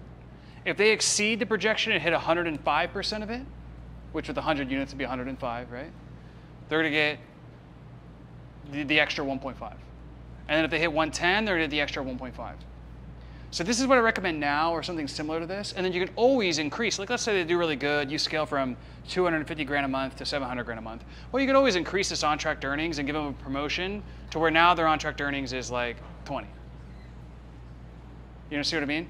But the reason I like this better than a percentage is because let's say you, you, you, you bring on your sales manager and to kind of get them a compensation that's going to be lucrative, you let's say give them 3%. But then let's also say you go from 300 grand a month to 3 million a month. Now you got a guy making 70 grand a month. And is he providing 70 grand a month worth of value? I don't know. But a lot of times I have a lot of people come to me and they're like, hey, you know, I paid my sales manager 8% of cash. and it was fine when we were doing 150 grand a month or 200 grand a month. But now we're doing a million a month, and he's making an absurd amount of money, and we feel like we're overpaying. So that's the issue with paying cash. A lot of times. So what I do, what I did is I did this, and you can you can play around with this, but like the, the idea is the beauty of this is it resets every 30 days. Does that make sense? So that the earn, the earning potential stays the same, but it keeps resetting, and then you can give them raises at your discretion. You see what I mean? But didn't he help you get to 800 grand, like a million a month though? Like was Well, it, it, it, it, it depends. I mean, dude, sometimes it's just not like I. Yes, I agree, and I, I think you should raise that then. Yeah. Like if you go from 200 to 800, yeah, I think you should get more. Yeah. But sometimes when it's like purely tied to the cash, Mm. it's not always tied to the value that they're providing. True. You know, and the other thing is too is if you go from 200 to 800, you might have been at 70% profit at 200, and then at 800 you might be at 30% profit or 35% profit, but his income wasn't affected. Mm. See what I mean? So I like this, and then yeah, I, I, I don't mind doing a percentage, but I like this until you know like okay, this is my long term like And ride, or- put 'em on ride or die share. person, and then I move to the profit share. And what? Why, why did you come up with the fifteen hundred? Was that just? Well, that's 7.5. So the on-track earnings was 15k. I did a 7.5k base, and then I did the 7.5 divided by five. Because you have five projections, or what? What's the? four? Is the five coming? So this is 90% of the projection, 95, Oh. 100, 105, 110. And so this keeps resetting, you know? And then that way when you give them a percentage, it doesn't get outlandish. So I would do that for a couple of weeks, a couple of months, and then, you know, if you really like it, just move to profit Who calculates all of this stuff? Whose job so, is that? So they, they calculate it themselves, and then they give it to my CFO, my CFO just checks it. But then what I do is, once I have that down pretty well, I, uh, I just move it to profit share. Is the CFO pretty busy? Probably, I don't know. I'm just thinking, how many? When is there a certain number of setters and closers before like all of this math gets? Well, this is just the sales manager. Yeah, no, but you've got your setters math, you've got your closers Yeah, math, so you've got your cash has, collected, you've got your Yeah, she has a way to do it that is like re- it's really streamlined. Yeah, I'm just thinking, when would people need someone to look after their all Oh, this yeah. math? You know what I mean? Yeah, so it's like a controller position. Um, Because this is getting intense at scale. Yeah. Yeah. Um, yeah, I mean, I had her from the beginning. I would say, I mean, I don't know. I, I would really look into, you know, if you're doing a couple hundred thousand a month, I would really look into just getting a controller who just does that. Because you definitely don't want to be doing. Maybe you should add that to your list, by the way. The Does anyone else want to know about that? Like the financial controller eh, after a few hundred K a month? Because all of this math is intense. I don't know if you want to calculate all of this shit. Yeah, you definitely shouldn't be. So, like, what I did is I had a bookkeeper who was, I mean, this is probably not the, the way I would replicate this, but I had a bookkeeper who was like the second person I like ever hired. And she was just really, really good.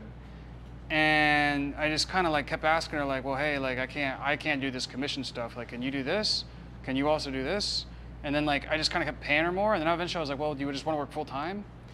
And now, so then she kind of went to controller, and then eventually she's like CFO, which, you know, I, I define the differences. CFO, she now has a team, and controller is like, uh, you know, one man band type of deal.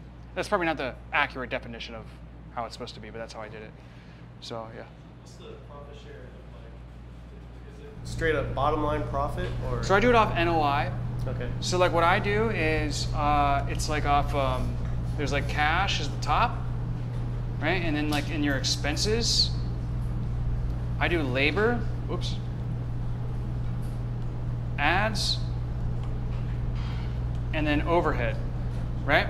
And so labor is part-time and full-time W-2 and W-9 contractors, right? Ads is ads. And then overhead is like insurance, legal, software, your merchant fees, uh, event expenses, and some other stuff. This tends to always end up being 5 to 6%, right? So what I do, and then after that is NOI, and then the profit share is based on that number, right? So the reason I do that is like, let's say I, uh, let's say like you know I decided to join a mastermind that was a hundred grand, and you know sure it benefits the company, but it's you know it's kind of for me. That way it doesn't come out of their profit share, and I don't. I I also don't have to say, hey, can I buy this mastermind? Are you guys gonna be mad if I buy this mastermind? Or let's say I, want to put my rent on my P&L for taxes. You know, or let's say I buy a car and I use it for a photo shoot and I put it on my P&L. Well, like, is that fair to my profit share people? You just give them a few points or Ten, twenty percent. Well, it depends, you know. So, like, I can just tell you what I've done. I have my operations, like my COO, is at three percent profit share, and then my guy who runs my B2B is at six point five, and my guy who runs my B2C is at ten. Now they do the same exact responsibilities. So why is there such a big difference? Because the the B2B is just so much more. It's set up to be so much more profitable and the B2C has so much more ads expense that uh, when I switched all my exec team to profit share, th- they actually 6.5 and 10 they, they were making the exact same amount of money though. I mean, and they're making also like 40 grand a month. So like they were making really really good money. Now they're making even more, you know. And I'm probably gonna give the B2B guy a, a raise. So like you just gotta gotta figure out like what's a win for the person and also makes sense for you. So I think for most for most sales managers though, if you're getting them again, you want it to be kind of a little at first a little bit less than they're making as a full-time sales rep with more upside, more downside. You know, so if you got but so eventually like if they got a if you got a bunch of sales reps making 15 grand a month, you, you could start them off at let's say kind of a 12 to 13ish target range and then work them up to like let's say they're making 20. You know? And you can kind of do that through your through your uh, profit share or through kind of the commission structure and stuff like that. Does the CSM has the potential of upselling into the mastermind, do they have a higher earning potential than Yes. the sales managers? Yeah, so, well, then the sales manager? Yeah. No, I mean, the, the CSM who upsells into the mastermind, I, I don't know. I guess it just depends. Um, it's just kind of two different teams. Like, that's the fulfillment team, and then the sales team is the sales team. You know? So, I mean, but the C, my, like, if, if the CSM is doing the upsell, like, they, they should be making kind of like salesperson money, though, if they're doing well. Does that answer your question? So there's like a sales rep can make this much, the sales manager can make this much. Where does the CSM kind of fit in that? Yeah, I mean, if the CSM, so I'll tell you this for my B2B, my sales guys are making 25 to 40. Uh, they're also really good for the B2B side because we need people who can talk to people like you guys. Like, they can't be like newbies. You know, you're not going to buy if the person's terrible. You're like, oh, this is not good. You know, this is what the guy does. So he's got to be really good. And then uh, the, the account managers, they also make about, on average, usually 20 to 30. I got one guy though who's a freaking animal, and he does, he's clearing 50. And I have another guy who's who's all, the manager also is clearing like 35. So they're making a little bit less of the salespeople, but I kind of view that as like the, the retired sales guy role. You know, it's like after you're kind of done like grinding and starting over at zero every month, you move into this account management role in my company. And that's where like you've learned all the skills, like you really want to teach sales, but opposed to going to compete with me, I just give you a book of business and you just got to keep them paying. So like we just give them clients every month and then they're incentivized to retain, upsell, cross sell, you know, all this stuff. Uh, manager For B2B, do they get profit share of even the mastermind if one of the customers goes to that? Yes, but my guy who runs my sales team also does fulfillment, and he, he's like the GM. He does it all. Is that Mitchell? Yes.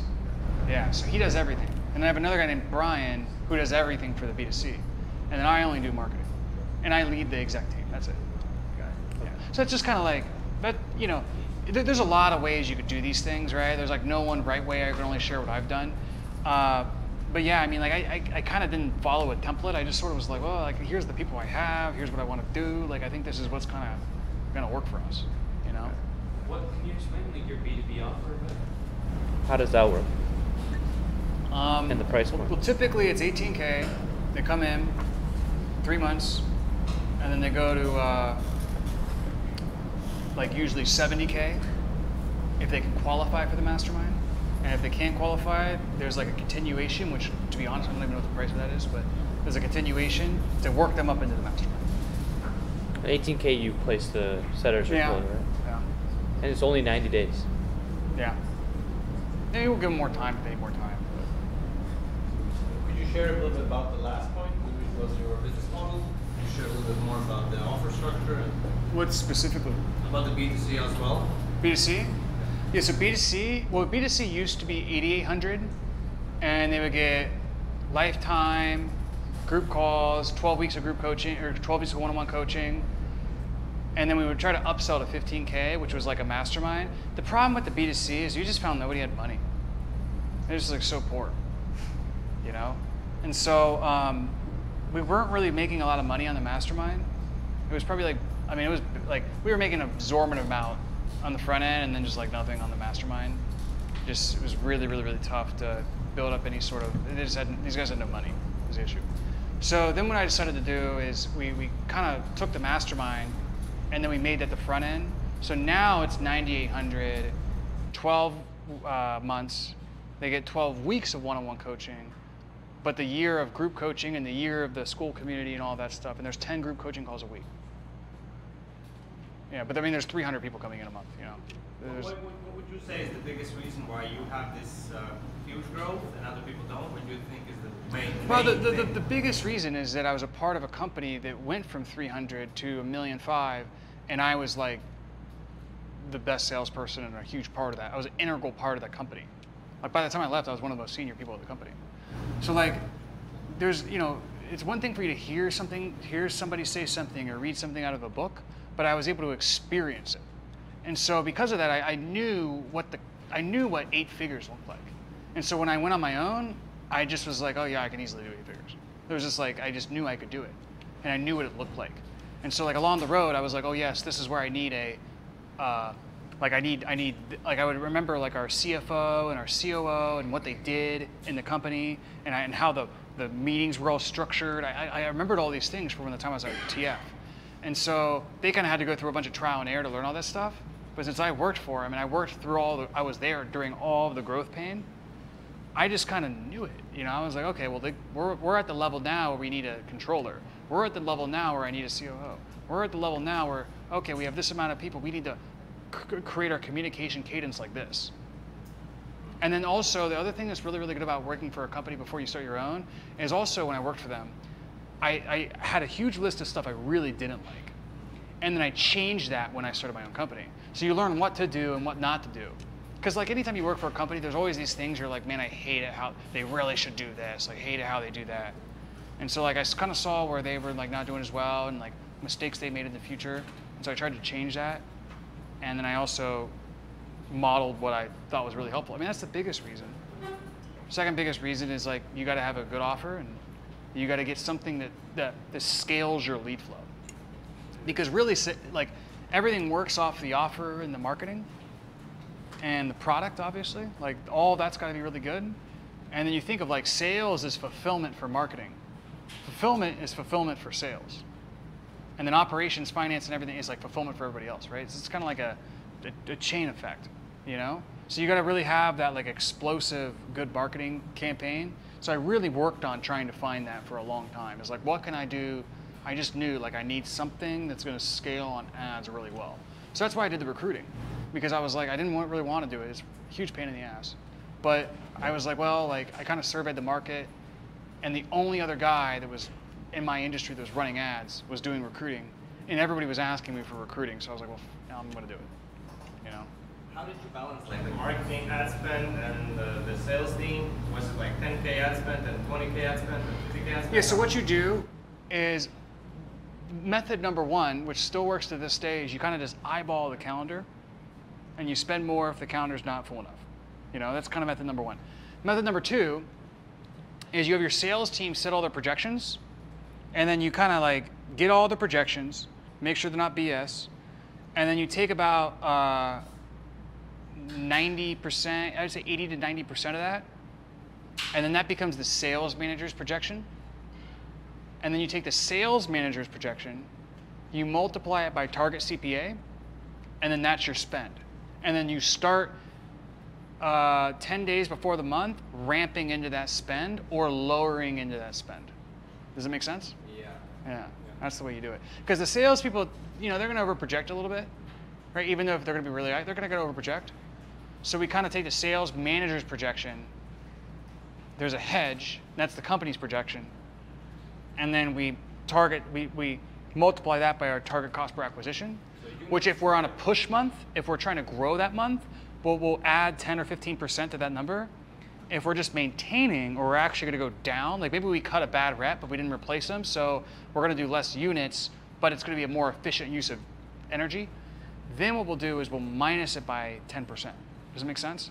So like, you know, are we bulking or are we cutting? Type of deal. Sorry? What was the first method you mentioned? First win? Because uh, you said there's two The ways. eyeball, the eyeball method. Oh, Yeah. like just guessing. Because, because so, so the second way I did it sounds real fancy, right? And you're like, oh, we should do it that way. Here's the pitfall of that. What happens is, is because it's based on uh, 90% of the, uh, and, and you know, you can also prevent this through just good leadership, but because it's based on technically 90% of the team projection, what happens is sometimes, let's say that the reps, or like you have some blips in marketing, and the uh, the calendars are a little bit light. Like they're not fair, but they're not packed to the brim.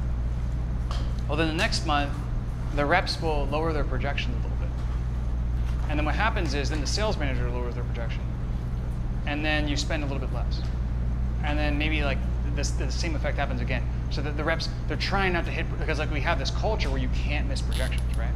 So they're, they're kind of, okay, I'm trying to gonna play a little bit safer.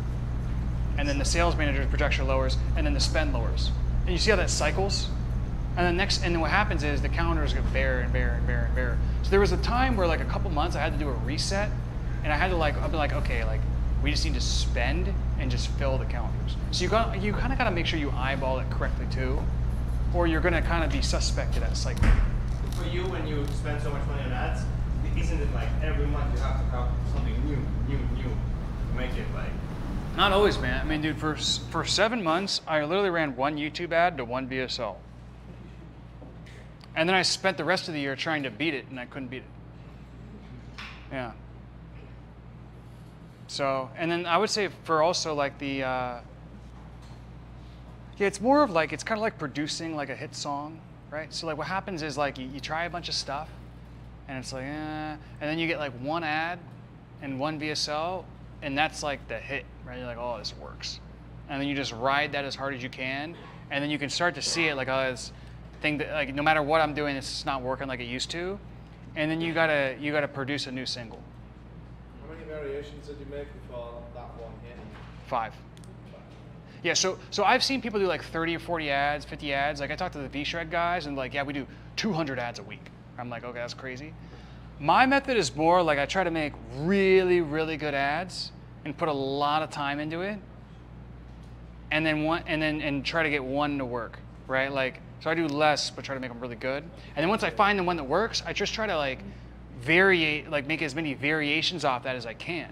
So like like what I do now is like I'll I'll just I'll find the one that works and then I'll like I'll just shoot the same one in a different setting. I'll shoot it off my iPhone. I'll like change the first line. I'll like I'll just shoot an, sometimes I'll just shoot another one with a different camera angle.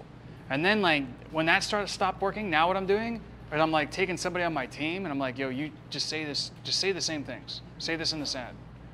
And so I, I have two team members doing that right now.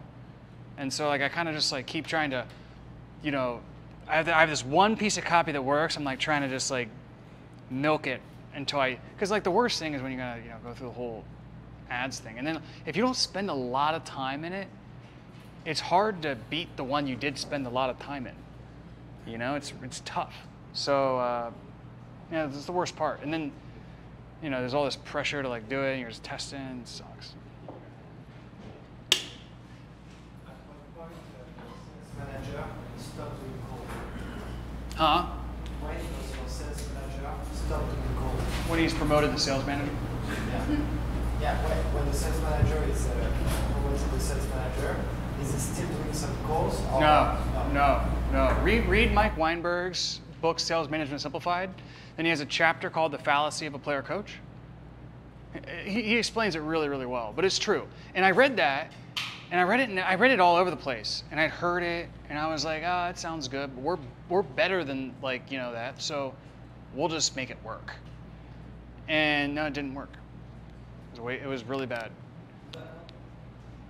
Uh, Fallacy of a Player Coach. It's not the book, that's a chapter. The book is called Sales Management Simplified. It's a good book. So I saw a TikTok from Taylor Welch, and he said he can see other people in the industry that came from them that blew up. Mhm. And I'm thinking he's talking like you, Ashton, some other guys. Yeah. And he said the reason that people left is because his ego was like too big. Oh, yeah. For for you to have stayed there, is there anything that they could have done? Oh, that's a great question. Yeah, I love when I get asked this. Yeah, so what they should have done is I, well, my, my goal, they had this company called Sales Mentor, right? They just shut down, by the way. They shut down last week. They, so they let go of all their employees. So, uh, you know, just be some good people for y'all to interview. I know we're, we're interviewing a lot of them. But um, they, uh, they had this company called Sales Mentor.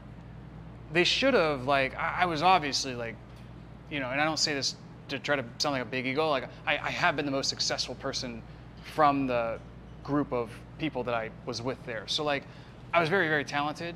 They should have identified that and just give. I mean, dude, if they would have given me 10% of the new offer and just let me do it, I mean, I would have built my company for them, no doubt. Because I really liked it. You know, I liked being a part of a team and. I will say, like when I when I went from zero, it wasn't until I got about 400 grand a month with a great team of eight people to where I really started to enjoy what I was doing. Before that, it was just pure scarcity and fear. Like it was like in proving them wrong. Like it was like I'm gonna prove them wrong. I'm going to like, you know, I'm gonna rub it in, prove them wrong, f them, and I was like, I don't, I don't want to be broke, right? Like that was the energy. And then when I got a good team, I was like, okay, like I really like the people I'm working with. Like this is fun you know? And like, i think the two most important things you do in your life is like the work that you do and the people you do it with. So when i got a really good team i was like okay like i actually enjoy my work now. And i was like more like towards opposed to away from.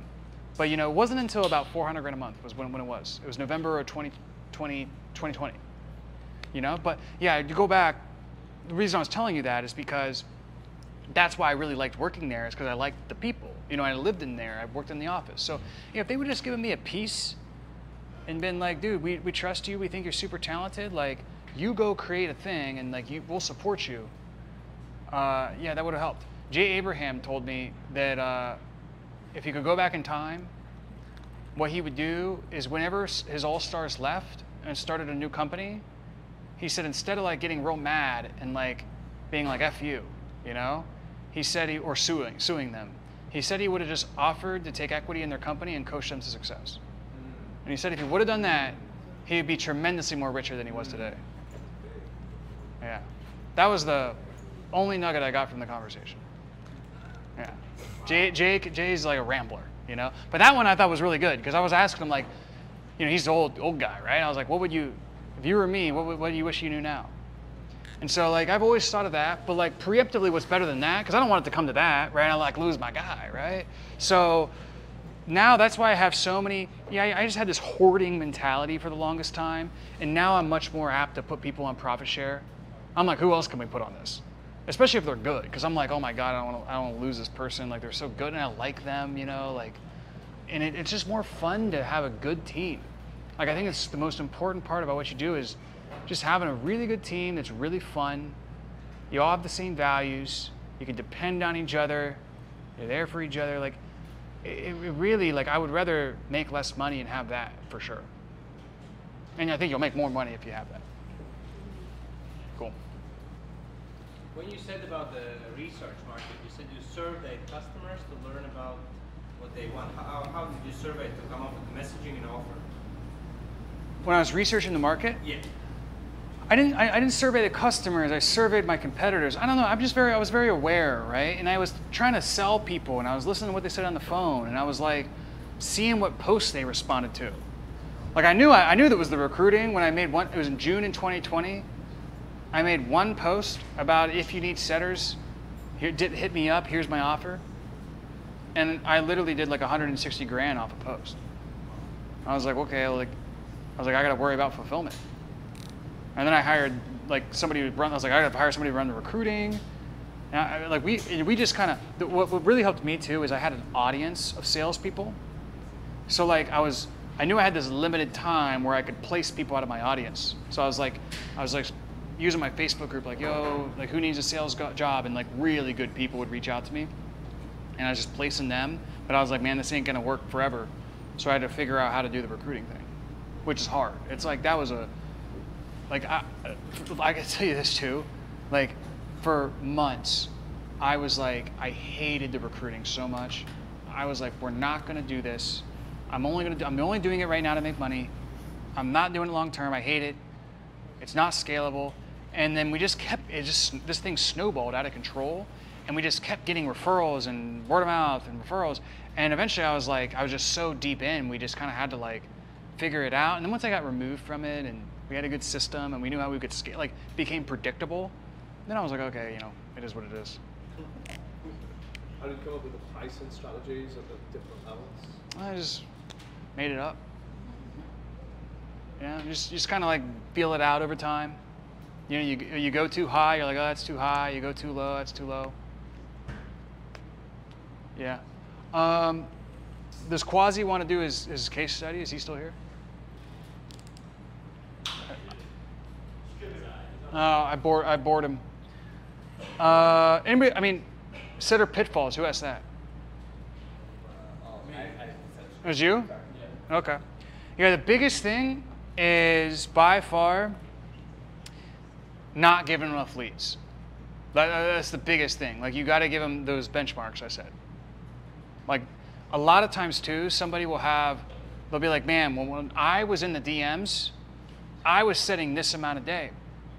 And now I have three setters and they're setting the same amount I was setting a day. And I'm like, well, how many leads? Are, are the leads any different from when you were setting? And they're like, no. And I'm like, well, that's why. You know? Because there's only so much like value or equity or whatever you want to call it within a certain amount of leads. Like there's only going to be a certain amount of sets within those leads. And so you, you the, the biggest thing is giving them enough leads.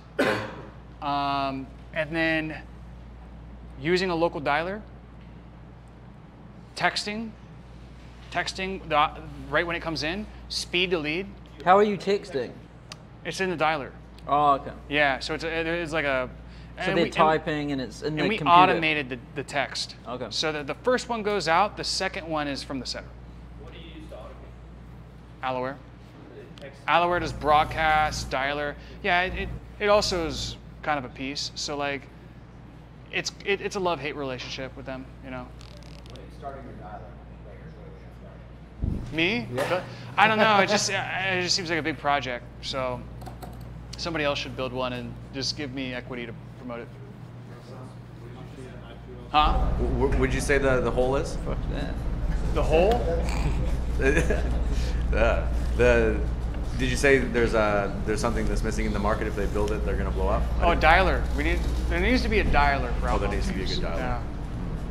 Yeah. And, and very simple. Wouldn't need. All these have too many features. Yeah, I don't even like when I log in and like I- don't even log into that thing. I'm like, ugh.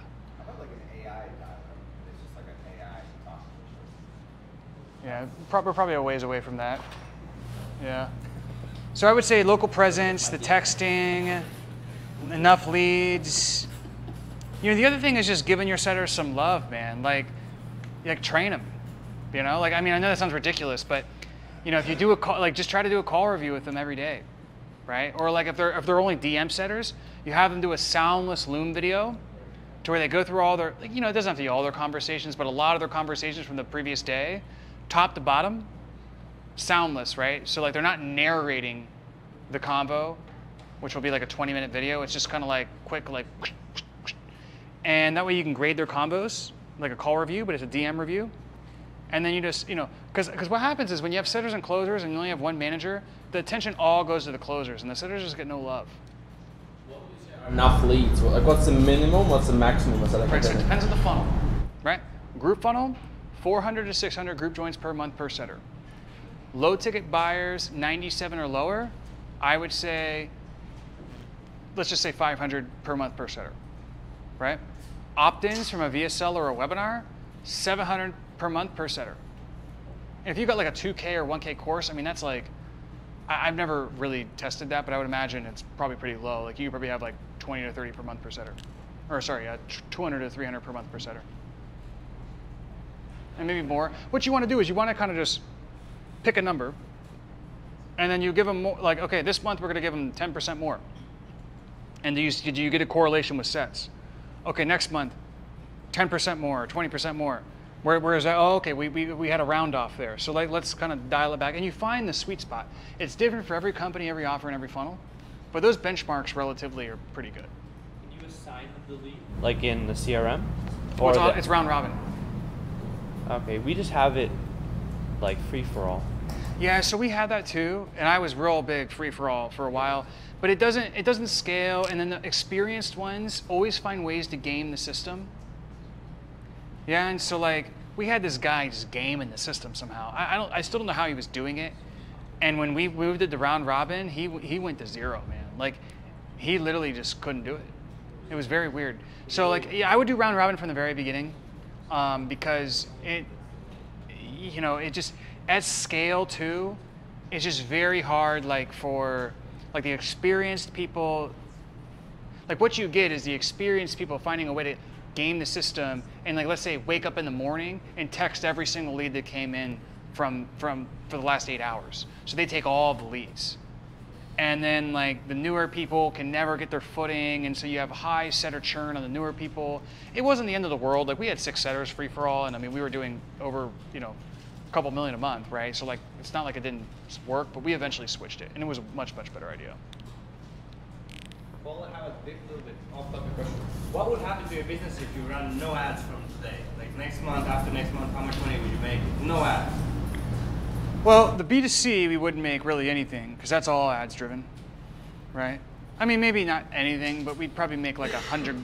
Well, I don't know. Are we taking into account email list? Yeah, I don't know. I mean, that's hard to say if you take an with with email. I would say maybe with the B2C, make a couple hundred thousand a month, but it'd be tough, right? Like it's just not a. It's a very direct responsey offer. For the B2B, I get tons of like referrals and organic and word of mouth. So like that would still do a couple hundred thousand. Still, the ads fuel majority. Yeah. Yeah, I mean, for the B2B, we have a lot of a lot of organic, a lot of referrals, a lot of stuff like that. One thing that's really good is, is we KPI as well our CSMs on referrals. And so we get a lot of referrals from the CSMs working the clients for referrals. And that's very, very good. You know, Put them in like, on that, an extra or not? huh? If the CSM produces a referral that turns into a Yeah, they get they, they get a setting commission.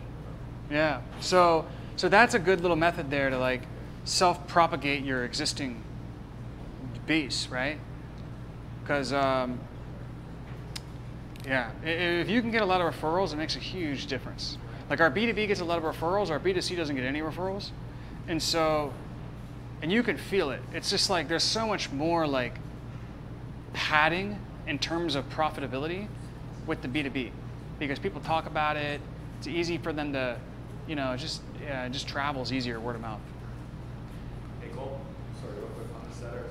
Um, you just mentioned they're gaming it, like guys getting up in the morning and smashing the list and taking Yeah. everything. So, say you have uh, thousand opt-ins a day, roughly, or something. Are you are you delegating them out to each setter individually, or are you giving them a master list to blast? Like, are they it's owning like- their leads, or are if, they, if the opt-ins are coming in, the the whatever automation just round robins them. so when it, but when it, when it round robins them, it, they own it. It's like Joe, that's yours. Sally can't call it. Yes. Yeah. Right. Yeah. Unless they quit. Because that's a big indicator as well, right? It's like you got the same amount of leads. Yeah, yeah. There's certain systems. We did try something one time where if they didn't call the lead within 10 minutes, they lose the lead, and it just it delegates them to somebody else. Yeah, but yeah, there was a reason we stopped and you know, I don't know. I just forgot. It could be a good idea. Yeah, it could be a. Yeah, could be a good idea. Huh? Through Zapier, opt in, to, uh, and then it's that. It's some sort of Zapier, HubSpot, okay. Aloware thing. You know, I, I, I, don't I don't mess with any of that stuff. Like I, I'm like more of the up here guy. Like, that stuff's hard for me.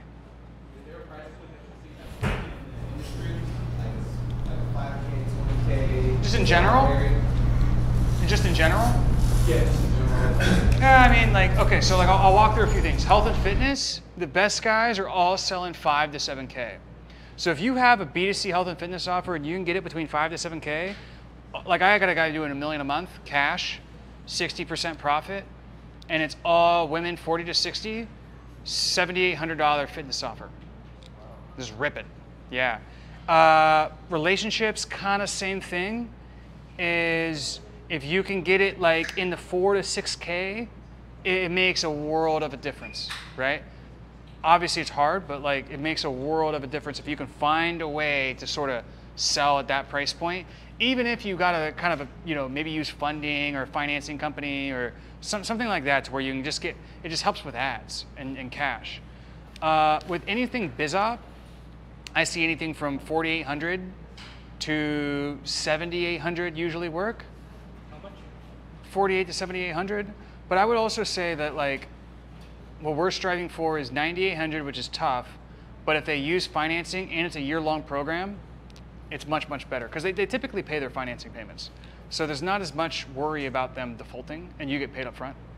When you say financing company, like, like Trisha type person, like a high risk, like merchant? No, that's a merchant. Oh, that's merchant. That would right, like yeah, financing. Yeah, so so like one of my friends does six million a month, and what he does is really interesting. Is an Airbnb offer, and so what he does is they um, it's all setters. They don't have any inbound, all setters, and um, they use my setter thing. They went through our thing, and so it's all setters. Setters call them, set them. They have the closer. The closer pitches it with the funding right? So like the closer is like, yeah, it's only a thousand dollar down payment, and then X amount of dollars. A, uh, they give them a range. It's like three to five hundred a month, depending on what you qualify for financing wise. La da da da. And uh, then they, they they take the thousand, then they move them off to a different position called a finisher, and then the finisher, and that's a live transfer, and then the finisher basically tries to get them in one of the funding options. And then they get paid up front 9800 and then the clients on you know whatever term. So we're, we're testing that model now because our biggest thing with our b2c has been uh, getting like like we could sell like people want to do it. It's not that they want to do it it's they have no money. And, I, and, and it's not like a oh the salesperson's saying they have no money but they're not good at closing. It's like no like they literally are like here's a screenshot of my bank account no money you know? Like they have no money. And so that's the biggest challenge with b2c like it's easy to get leads right? It's easy to make them want to do it. And you know for the most part they're decent clients. Like it's it's all that's fine. It's just that's the obstacle and so like we've been doing a lot of like four pays and five pays and that creates creates massive operational complexity and just they don't pay right? Or they run out of money. So like the idea is that financing hopefully helps you know? And then yeah. So like the, we're, we're, to try that model and see if that helps us. Huh? The to take the risk on board. did, it, did the financing company take the risk? So like as in, like they'll obviously get get paid for it. Do they take the risk if they don't pay after say month six or whatever? no, they don't recourse if that's what you're asking Like no. bad debt, they'll take the bad debt. Yeah. Yeah. That's that's how their fees are structured. So what we're doing, I get a little wary about putting somebody on a, th- a three-year loan or something. I get a little wary about that. So what I'm that's why I elongated the program to 12 months, and we're going to focus on just a 12-month financing term. So that way they're getting value all the way throughout the payments. Does that make sense? Yeah, like in maybe 18 months tops. I'm not going to do two years or more. Like I'm not going to do any of that because I just feel like you know they're- left the program, they're still paying. Like eh, it just it worries me. I think you could have an angry mob build up that way. But like if, if, if it's like if it's the equivalent of a 12 pay for a 12 month mastermind, but I'm getting paid all up front, everybody wins. And I'm more than willing to pay the financing company their fees to do that. It depends on the option, right? And their credit score. So like one of the one we use is like 10% or 11%. But then if the more subprime you get, the worse it gets, right? To the point where it's not even worth it. You read that, but do not pass, pass it on to the client. Well, you could. Yeah. What about you said uh, the offers? What do you see like crushing it B two B? Yeah, I mean, our offer's doing good. What else is doing good? It- you know, it just de- it, it depends on what industry. Um, Coaching consulting. In coaching consulting, TikTok. I mean, it, it's it's the same stuff. Like all the stuff you guys wanted to learn yesterday is what's working. Done for you agency, do you have some examples? Done for you agency. No, but price Like- point too.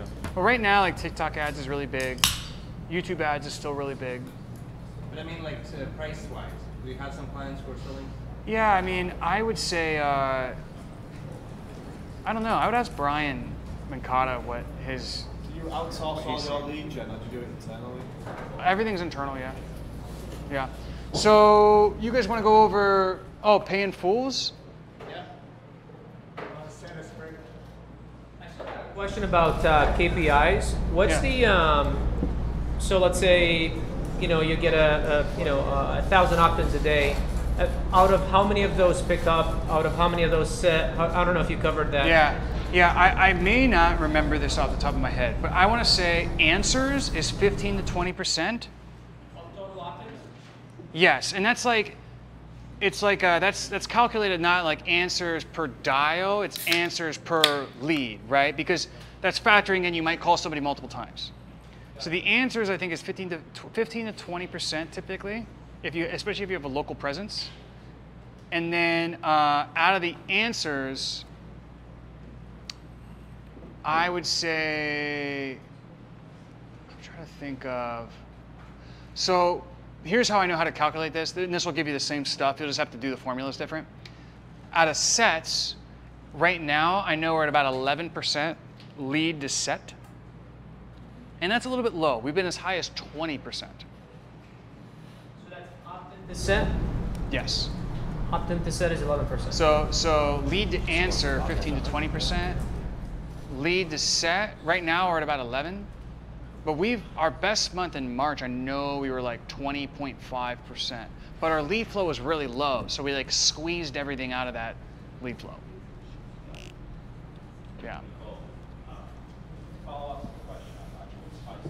for different, uh, I guess, niches. So you said 4,800 to 7,200 for the make money online niche, right? Right. So if a company who's in that niche wants to reach a million dollars per month, what does the company structure look like? Assuming that they're running a VSL funnel and it's setting up calls, like how many sales reps, how many setters uh, for them to generate a million per month? Well, here, here's the easy, easiest way to think about it, right? If you, if you, if you, um, yeah. So like, if your program was 10k, and you had four closers, four setters, each closer did 20 units a month. That's 800 grand a month. Your mastermind would easily tip you over a million a month, right? And you could honestly probably do it with three and three with the mastermind if the mastermind was really pumping along. So like, I kind of you kind of got to think about it that way. We always think about like for us, each closer does about 25 units. So 25, you know, so each closer is probably going to do about 200 to 250 grand a month of rev. So we can kind of just like think about it that way. Okay. But if your price point is half of that, like 5K, then does that mean Yeah, you just got to adjust it. Yeah, but uh, if your price point's 5K, I would at least go to 5,800 because I, I, I typically never see any change when people increase it to that 800. And so give that a shot. And then um, I would even try to get it 68 to 78. And then if you can get the financing going, you know, that's where I see more of those higher ones too. I, I don't like over 10K. I heard somewhere some from somebody after you get past 10K, you get a little bit more risky in terms of like FTC and all of that stuff. So with your 10K plus financing offer, what's like the closing percentage on the phone? So live call to close, like 32, 33. So it's answer to close, yeah. That's a team wide. So we have some people who are probably below that. We have some people who are like crazy and like they're in the 40s. Yeah. Company, I recommend it. Fund My Contract is where I would start. What is it? Fund My Contract. Yeah, we try to get them on Fund My Contract, and if not, Coach Financing. When you start, you hire two setters and then get them on a 60 day ramp up. And then I missed the, the last part with that. Two, oh, two setters. The first week is the drink from the fire hose. The second week is half volume. And the third week is, is go. Oh, yes. For setters, true. For setters, first week fire hose. Second week, we just let them go, right? See what they do. And we usually want to at least see 10 sets in the second week. Yeah. That's us. If, if, if it's like your first setter you're ever hiring, you know, maybe five to seven sets. Yeah. And then after that, you want them within KPI. And you said hire two and then give them a 60 day period. Oh yeah. So if it's the first time you're ever hiring setters and you're kind of like, hey, we're trying to figure this out on the fly type of deal, instead of having them 100% commission or very close to 100% commission, have them on a draw, which is in other words, it's like you have them on 60 days of a base to where they make the base. If not, their commissions exceed the base, right? So like a 4K a month draw, if you make 3,000 in commissions, you just make 4K. But if you make 7,000 in commissions, you make 7,000. So another follow-up question is going back to what you said earlier. So right now we have a 10% opt-in to the schedule, right? Yeah. And you said it's 11%. Would, should we expect an additional 11% or would it be the total opt-in to? Oh, the numbers I gave you was was just for the centers. So that's not counting our uh, whole system. So if we're getting 10%, we should be expecting an additional 11%? That, that's what I would imagine. There is going to be some cannibalization, but I have found that like it is relatively separate. But aren't does sorry. that make sense? If, if you if you want, I, I, don't I don't know it off the top of my head, but I could screenshot you another time um, the numbers of the total system with the call funnel of like how many dude like we've had I think the highest month we booked 34% of leads in the calls, like literally 34%, which is pretty crazy. You said you're at 30 or 40. I'd say around 40. Yeah. yeah. like we've had up up there, right? And and that doesn't mean we took all of them. We canceled a lot of them, right? But uh, but we're, yeah. we're we're talking about you're talking about calling opt-ins lead speed to lead, right? Like as fast as possible, right? Yes. So for example, this person opts in at three o'clock, and they're going through the funnel, and maybe they're like on the first minute of the VSL, or maybe they're filling out the survey or something. Yeah, we call them. Yeah, yeah. So, yeah, maybe they're gonna have a better chance at booking if they talk to a human than an automated video. Yeah. Yes. So let's say they go through it, and let's say the speed to lead is a bit slow, and they've already opted. They've gone through. They filled out the survey. They came on calendar already. And well, we're they call- get they get a tag and then taken out of the sequence.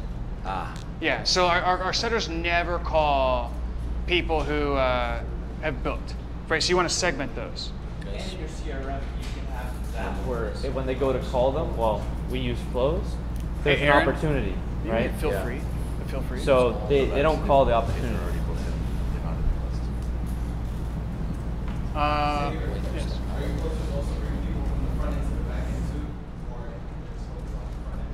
Only front end, and then what I recommend is having a dedicated back end salesperson, right? Uh, you guys want to cover the script? It's pretty easy. So here's what's very key, and this this applies with uh, messaging and outbound calls, right? You have to know if you're in an intent-based situation or a non-intent-based situation, right? So what's an intent-based? If you guys see my fun- my funnel where I'm like, our setters perform or you don't pay, that's that, that's a direct offer. That's an intent-based situation. They've raised their hand. They say, I want to learn about the offer. Non-intent-based is where they opted in for a free training and now you're just calling them. So you see how those are different contexts? You need to approach it in different ways, right? So let me do the feel free real fast. What is that? It's uh, it's it's it's a it's like a nootropic. Makes you feel good.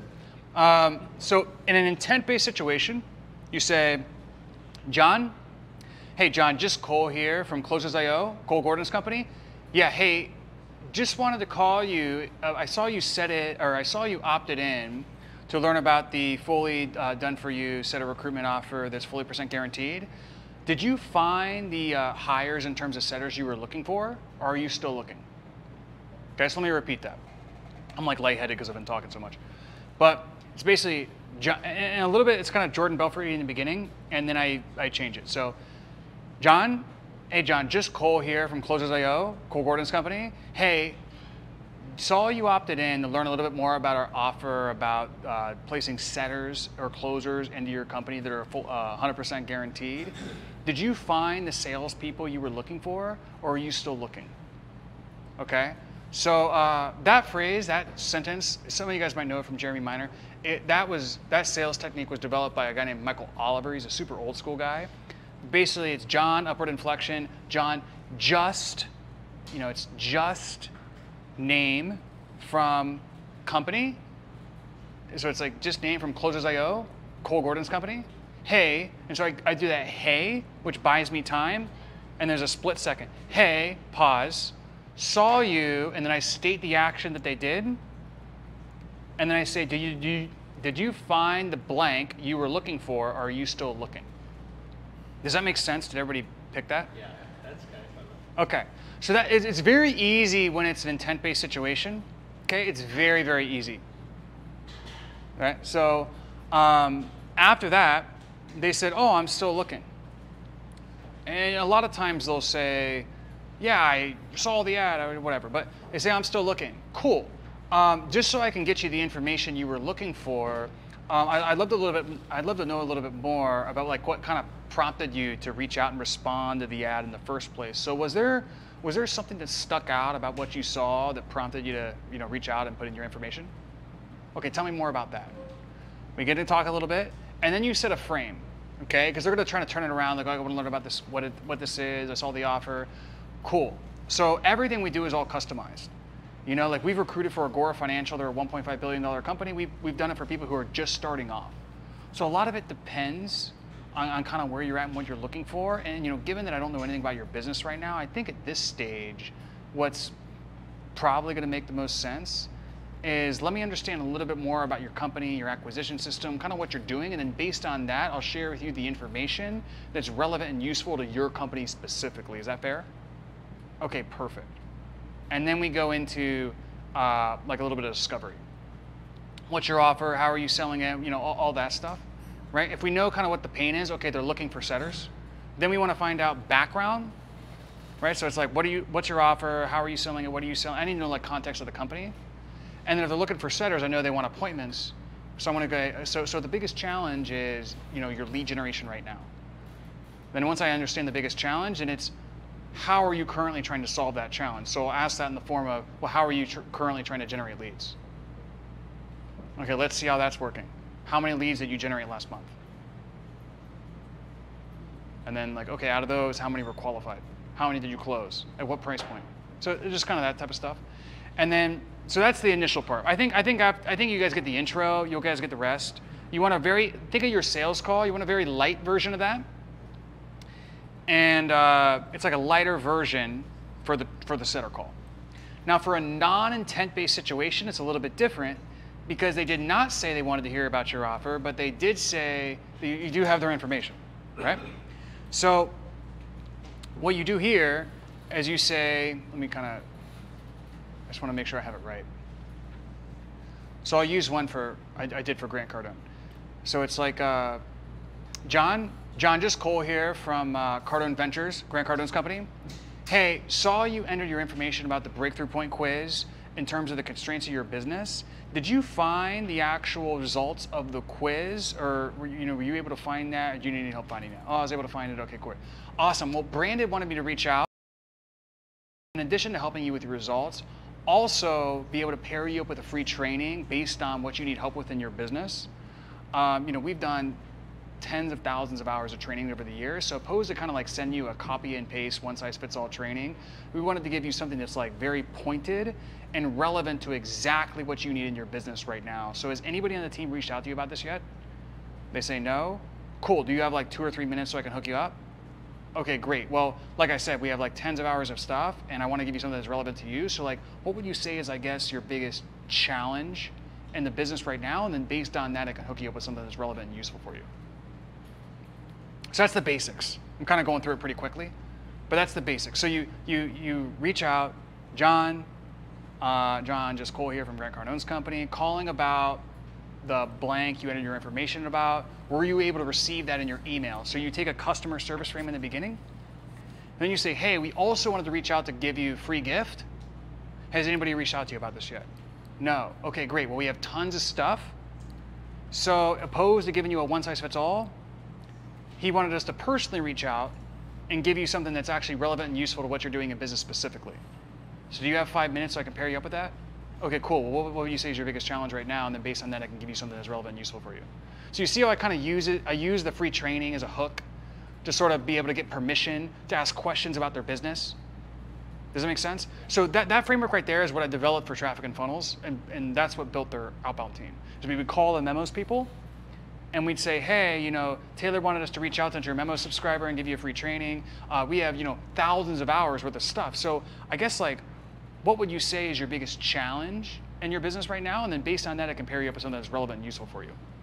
So like, I literally just sat there one day, um, dialing people with the Way of the Wolf open, and was like, what do I say to these people? And I just, I ended up falling on that script because it was very similar to what I was saying in the DMs and I was like doing the whole two-step thing, and I knew the DMs were working. So those are the two scripts. Does that make sense? But how do book the call then? Yeah. Huh? Is that, that in the script you're offering them, I'll send you this info. How do you then Right. So what you do is you go call? you go through the triage, which is like you, you figure out their pain, what they're what they're currently trying to do to fix the pain, um, how long have they been doing that for, you know what's been keeping them from doing that you know on their own, like what's in the way, ultimately what's the goal.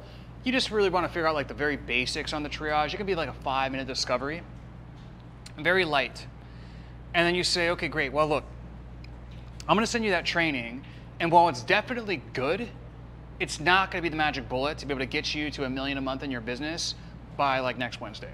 Okay? So look, independent if you want to work deeper with our team or not, I can pair you up with one of our lead advisors, so and so. He works closely with the clients, and he'll be able to share with you some of the frameworks that other people, other women have used to be able to solve the relationship issues and be able to find the man that they've been wanting without having to X, Y, and Z. And then, of course, if you're interested in the whatever the product's called, if you're interested in working deeper with Anna, they can tell you a little bit about that as well. Cool? So, anyways, I have their calendar open now. When works either this date or this date to be able to book it. One other thing that we tested, I should tell you guys. Everybody, everybody was saying they had a lot of no-shows. Essentially, one of the things we tested and got a big lift in our setter show rate was a cancellation fee. So here's how it's, it's basically along the lines of uh, so I do the whole thing. I'm like, does this date or this date work? Okay, does this time or this time on this date? Cool, what's your email? Okay, I just sent you an invite right now. Will you accept that? They have a crazy assistant. If I don't, they don't accept this, going to take take it off the calendar. Okay, great. So you accepted that. Perfect. And one last thing, we do have a $100 cancellation fee. So are you 100% going to be able to make that time, or is there any chance you got to reschedule? I just want to make sure that's not going to be an issue. Yeah. They don't pay anything. Huh? They don't pay anything for them. No. You just mentioned it. We, we, we heard somebody else doing it, and their show rate was better than ours. So I was like, guys, we're doing that, and it worked. No, nobody says anything. Oh, I'll be able to make it.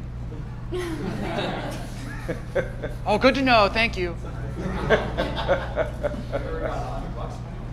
No, I don't care about that. I just want them to show up. I honestly don't even care if they buy. It. It's like just show up, you know? Like please, please show up. You're ruining my calendar. Yeah, that was a good tactic I learned this this year. Um, so that was the script. I, I ran through that pretty quickly, but did that make sense? Obviously, the tonality. You know, I'm like I'm talking to myself up here. It doesn't probably sound that good, but I think you guys get the point. You just got to identify direct or indirect situation, or intent-based or non-intent-based situation. And to be honest, the Messenger DM script you use in Facebook Messenger is very, very similar. So on Facebook, if they select yes, they want to hear about the offer when they join the group, you say, hey, saw you did this. Did you find the people you were looking for? Are you still looking? Did you find the lead gen, gen you were uh, looking? Did you find the information you were looking for? Or are you still looking? Oh, I'd love more information. Okay, boom, done. It's it's direct is super easy. It's like bada bing, bada boom. Um, indirect is a little bit more long form because you got to turn non-intent and then you got to create intent. Does it make sense? Yeah. So, um, huh?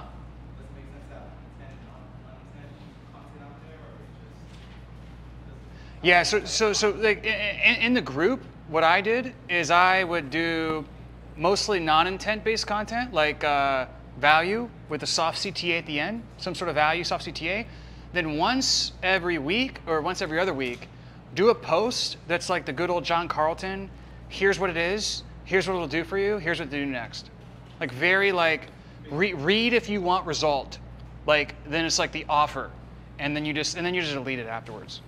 But that thing, I'm telling you, a direct post like that just rips. It, crushes. Like when I told you guys about the one post I did that was 160 grand off a post, it was that post. It just said, read if you need setters. And I said, we got an influx of setters who are blank, blank, and blank. If you don't know what setters are, they'll benefit, benefit, benefit, benefit, benefit, benefit, CTA. Literally just ripped it. So I mean, if you guys want to follow follow that uh, formula, it's going to work well for you guys.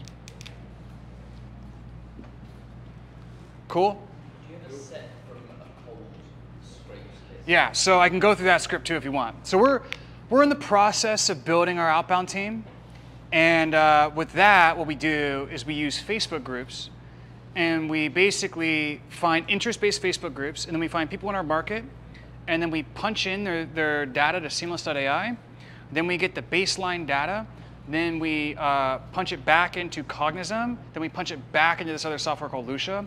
So we complete the data set with name, email, phone number, LinkedIn, and whatever else, Instagram, all that stuff. We'll get multiple emails, multiple phone numbers.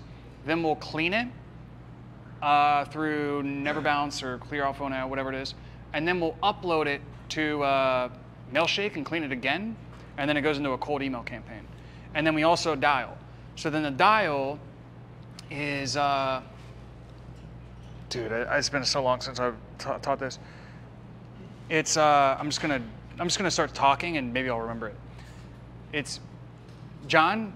Hey, John, just Cole here from Closers.io. Look, uh, calling a bit out of the blue, but give me 30 seconds. I'll tell you why I'm calling, and then after that, you can tell me if you want to uh, keep talking or not. Fair enough? It's that, right? So that one, this is like the, the, the good old cold one, right? And then um, after that, I say, are you familiar with brands like, and I name drop our real famous clients, right? Are you familiar with brands like Tony Robbins, Grant Cardone, Agora Financial, Frank Kern, people like Dean Graciosi, people like that? So like we help, and then I go into the we help statement. So we help people like that, so coaches, consultants, and agencies, and typically people like that reach out to us when they want to help with one or two things. And we go problem one, problem two. And then I say, which one of those resonates with you most specifically? Yeah, so that's what I say. He, he'd probably be better though. He was the top person for Salesforce, so I'd ask him about cold calling too. Him. Yeah. Yeah, raise, you, hand raise. But that we found that works. If it's in good tonality, we find they're just like, oh, you got to realize, man, nobody's. Have you ever been cold called by a really, really, really, really good salesperson? No, you haven't. You know. So like when you when you are able to call, and even though it, that is a very Sandler-ish based script, if you're able to call and it's just smooth and you're good and you sound legit and like you sound like you have good information and you can help, people are like, yeah, I'm just to see what this is all about, you know? And then now you're in a conversation. So it does work. What was that? You are, why you're calling, be relevant. That's the key. Be Yeah. relevant to their role. Yeah, so it's it's it's John. Hey, John, just Cole here from Closers.io. Look, calling a bit out of the blue, but give me 30 seconds. I'll tell you why I'm calling, and you can decide if we want to keep talking after that. Is that fair? Okay, cool. So you're probably familiar with brands like you know Tony Robbins, Dean Graciosi, Frank Kern, Agora Financial, Grant Cardone, people like that. So those people, you know, they're clients. People like that, coaches, and you state coaches, consultants, agencies, reach out to us typically for one or two reasons. Either number one, they problem number one, or number two, they problem or desire number two. Now, just curious, which one of those two resonates with you most specifically? Okay, tell me more about that. Okay, gotcha. That makes sense, John. I, I think I have a little bit of insight for you, and maybe I can send you a good resource on that. Can you give me another two to three minutes? Okay, perfect. And then now you're really in discovery, right? So there's two frames, right? There's eh, it's a little bit trickier. You got to be good. But yeah, we're building out that team right now, and our goal is to master that and then teach that because ever since Alex Hormozi exited with uh, doing the outbound thing, everybody. I mean, dude, if I make a post about that, it's like swarms. For whatever reason, people want to know how to do cold outbound with no ads, like and, and no like not the setters we're talking about, like pure cold outbound. And it is nice. I will tell you, like we're doing 200, 200 to 300 thousand dollars a month with it, and it's like I don't need any ads.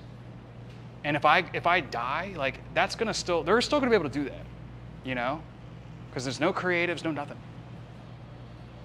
What was the software you said after Seamless AI? You said Cognism and Lusha. So like we use all these databases to try to complete the data set. I have a quick So you say about um, of sales last month, did come from people going to the BSL, scheduling the call, and call, and closing, right? I just want to ask, do you also say at the end, like, for those who don't show be a hundred dollar cancellation fee, or is that only with the setters? So we tried it on the paid ads, and, and the sh- and the the booking rate dropped so dramatically that we decided to just take it off. And the show rate didn't improve with ads. For setters, it improved. Yeah. All right. Cool. Yeah, but good question. We did test that. Uh, okay, cool. So, what do you guys want to talk about out of this? Paying fools? Yeah, quick, quick question. You said before the highest opt-in to appointment ratio you ever had was like 30 something percent. Were, were those approved appointments or was it before cancellation? That was just like total. It was like in the hot. It might have been like 38. It was like a lot. Okay, but, but it was actually approved? Because you said like you were canceling a lot of appointments. No, that was just like total bookings. Got it. So after Right. after that, some were canceled, then you're probably Yeah, some were around- canceled, some were this, some were that. Yeah. So probably approved appointments were around 20, 20 something, probably, right? I, I don't know. Okay. Yeah, but what, one thing I'll say though is our setters, the close rate off those calls is much, much higher than the ads calls, and the show rate is higher. So that, that's the other reason I, I like the setters a lot. Thanks. Most of our traffic is from ads to VSL. Right. So the setter would be, we will implement the setter. The setter will be called, will be calling those. They're just only calling the opt-ins. Like your ads still go right to the closer. Saying the setter closes close better than enemy. Which one out of these is most interesting? First one. Paying fools? Yeah, so here's how you get all the paying fools. Um, let's say your price is 10K. Right at the end, you say the investment's 10K, right? And then you, you don't talk, right? And then so what happens is, let's say they say it's a money objection. They're like, well, like, can you break it up? Or like, how does it work? You know, whatever they say. And you say, gotcha, well, um, yeah, we can definitely talk about that. Um, but like, first, let's answer the most important question, like, how do you feel? Do you feel like what we covered, the four things in which we covered and which we're going to work together on, is what you need to be able to get to result? Right? And then they say, yes, no, whatever. Then you say after that, gotcha. So, money aside, you're 100% in. Okay, so let me just break that all down. Step number one, they get they ask you a question. What, that's called pacing the first objection, which is a term I just literally made up. So you say, we can we can definitely talk about that, but first let's answer the most important question. Um, or, or first, is like so I can stay organized on my end. How do you feel? Do you feel like process to achieve desired outcome? They say yes or no, right? If they say yes, you double tie down. So objection aside, you're 100% in. So money aside, you're 100% in. Okay? Now, on that first question, on both of those responses, what you're looking for is a response with certainty. So you don't want to say, I think so, right? Like that, that's, that's, I'm going to call that out and be like, I think so. Like, what, what, what's really going on? You know? You want to hear like, absolutely. Okay? So we get the double tie down and we got to isolate it to just money. Then we say, well, look, most of my clients do it up front, but for certain clients, depending on their situation, we sometimes allow to break it up. But it's, it's really all customized depending on what your needs. So, would you be open to having an honest conversation financially, getting everything out on the table, so we can see if this would be the right fit for you, or if there's a way we can make this work with payments, or at the very least, we can let you leave and come back with a game plan to move forward later. Are you open to that? Okay, cool. So how much net cash flow do you have coming in in the, in the next 30 days? They say whatever. Gotcha. And what's your cash on hand exactly right now? Gotcha. And what about credit? Right. So we get the, we get those things. So let me break that part down. Right. So we get tie down number. So tie down number one. How do you feel? Tie down number two. Objection aside, are you 100% in? Then we go permission. Once we have the isolated objection, hey, most of our clients, so we're painting a, we're painting a picture of what most people do in this situation, right? That's very classic Cialdini. Most people do it up front, but for certain clients, depending on their situation, we allow them to break it up. So, would you be open to having an honest conversation financially, getting everything on the table, so we can see if there's a way we can make this work, or at the very least, give you a game plan to work towards this in the future? Okay, so we're getting permission essentially for them to tell us how much is in their bank account. Then we, we ask the first question, which is net cash flow in 30 days. That's just to kind of get the conversation rolling a little bit. Then we ask, what's your cash on hand right now? Exactly. Which is the, which is the, that's what we want. Then once we have exactly how much money they have, then we say, and you really want to do this, right? And they say, yeah, I really want to do this. Right? Because we kind of just, you know, they kind of got naked for us there for a second. So we just we need to make sure like they're, they're coming back in. And you really want to do this, right? I really want to do this. Cool. Because I don't think the best thing for you if you only have X, Y, and Z is to do a pay in full and literally drain your bank account to, you know, $1,000. I also don't think the best thing for you, based on you telling me X, based on you telling me Y, based on you telling me Z, is for you to do nothing. So what I'll allow you to do is come in for half down. That way you can come in, work on your lead generation, launch your new offer, collect this and that, do this and that. And then that way, when that second payment comes around, it's basically an afterthought. So if I'm willing to do that for you, are you willing to move forward right now? So I, just taught you how to do a two pay, right? However, what happens though is that when you get the cash on hand and the credit, if they can pay in full, then you just got to hel- hel- hold them accountable to paying in full. Does that make sense? That's the key. Okay, this really cool. That's super fun. Yeah, this is super cool. Yeah. So if, if you're like, hold, if you're like, dude, I didn't write any of that down. The very first YouTube video on my channel is uh, it's called like financial objections, and I, I, I break it down. I give you like a Google Doc, and like, it, it, the, the script is literally on my channel. First video? It's uh, yeah, it, it's called financial objections. It's like you can- you can kind of see when I started. It's the first video when I started. But that works really well. I just I used to close everybody with that language. Everybody. I would close literally everybody. Not not physically everybody, but like anybody I would close, I would close in that language. I had a question a little bit. Um, you know, you, you know Alex Hormozi, right? Sure. He runs ads, but he runs ads very differently than we do because he runs it to a opt-in page about some kind of stuff, and then it's immediately an application page. What do you think about that? What you? Yeah, I think it's worse. You think it's worse? Yeah. You know it's different, right? It's like super Yeah. Yeah, but just because he doesn't he does it doesn't mean it's better, you know. What do you think about his sales uh, team? Yeah, I, th- I think what I think what his thing is is that he had such a good offer with these gyms and a good guarantee that it was like basically you make your money or you don't like like he, with, with them because like a lot of us can't do this because our clients are online like business clients. Like you can't have a coach do the same funnel with the same ads with the same offer with the same guarantee with the same terms all around. I mean we, we'd all be doing the same thing right? But with gyms you can't do that so it's just like they install that system and then they're able to generate so much money so quickly that he just kind of makes it like a super crazy easy guarantee. I think. But for him, the clients also pay month to month or upfront everything. It it was like a weekly thing. Yeah. Week, week, week. Yeah. from your pricing model, so I have a regular offer up front, and then if they don't pay up front, I charge twenty percent more over three Yeah, I don't do that because I don't want to, because that creates a decision, right? I don't add interest to the payment plans because I go for the pay in full, and then the, the, the payment plan is a downsell, and I use it as negotiate, negotiating leverage, right? So I tr- did you see how when I did the example with him, I traded you the ability to do a two pay for you making a decision now, right? So like a lot of times with objections and like in negotiating, you want to make sure you trade, right? So like if he would have said no to the two pay, I would I would have figured out why, handled the objections. Maybe I only can get him on a three pay. I would have said if you do it now and you give me a case study. so you see how I'm like making the trade. I, I That's very key. literally did that last week on a call, and I did a two pay with no interest, 30 days apart. The guy bought, which was great, but on the website and like the public offer, I have much higher there. So, oh yeah. well, well, that's different. You know, I don't know that as well, but I have heard there's like studies of maybe that increases conversions somehow.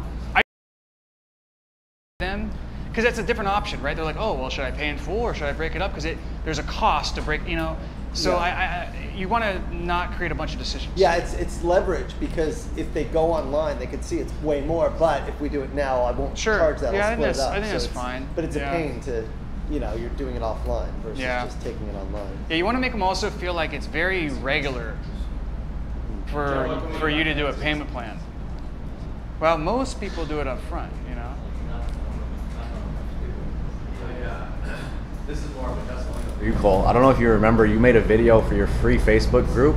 It was the first time I ever saw you. It was a long, long time ago. You were standing at a car wash, and you were like, "Hey guys, just hopping in here." It was that framework. Yeah, just hopping in here to give you some value. And I was like, "Man, who's this guy? I like the way he talks." This is so long ago, and it was a financial objection handle. And I took that from that video, put it in our script when I was the only sales guy, and I rocked that shit for like a year, and it closed every almost every time. Like it was bulletproof. Yeah, that's- and our whole team uses it. I was just showing them our scripting that we built out, and it's like as you were saying it, I was pointing down the script. It's it's it's gold. It's really good. Yeah, dude, that's, that's that's like one of my like uh, most like out of all my contributions to the industry, I'm like I'm like really proud of that one. Yeah, that's because especially like you might be like, oh, that doesn't sound.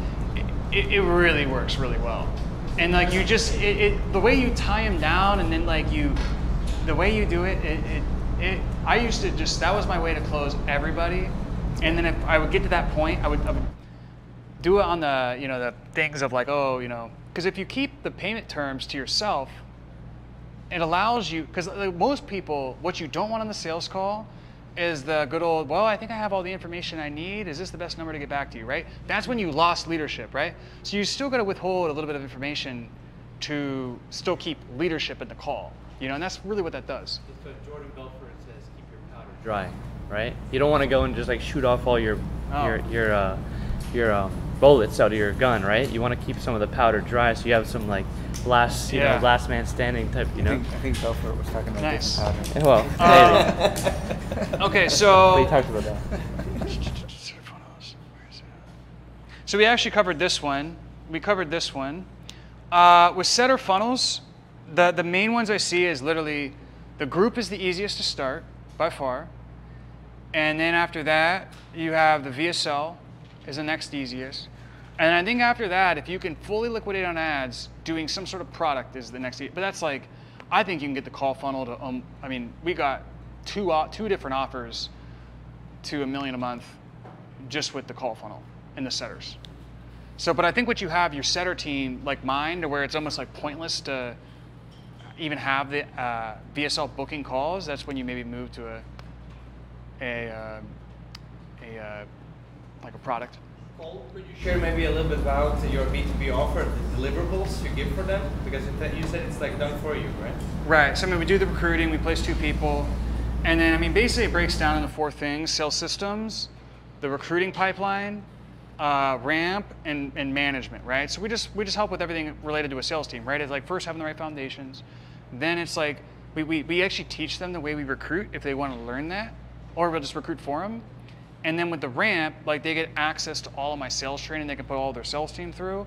Or, uh, and we also teach them how to install their own ramping process within their sales team.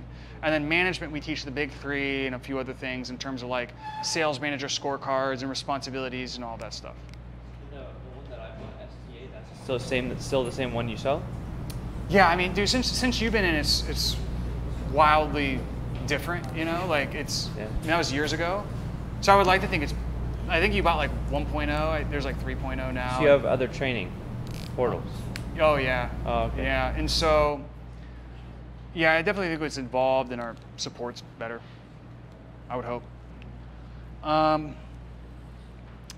in terms of when to move a setter to a closer, ideally when you get a really good setter, you don't want them to move to a closer because it's very hard to replace your really good setter. All right, so a couple tactics is number one, just make them your setter manager or your setter lead, right? Number two is um, make setter manager. If you have to move them up or you're like, man, I'm going to lose this person, then what I would do is make it contingent on them training their clone. And they will dance to train that clone. Because they're like, they want to be a closer more than anything. Because they're like, they have a chip on their shoulder, they think they're better than the closers. They're pissed that their closers are like, you know, not closing their calls. So you got to say, dude, I'm totally fine with you being a closer, but you're so valuable, you need to train your clone before you're able to do it. And your clone needs to hit these metrics. And they will train that person fast. Because there's nothing more they want in the world than that. You know? So you make a contingent on the clone. That's a strategy I actually forgot about, and I'm going to make sure we're still doing that. Um, what else you guys got? What is a sales integrator?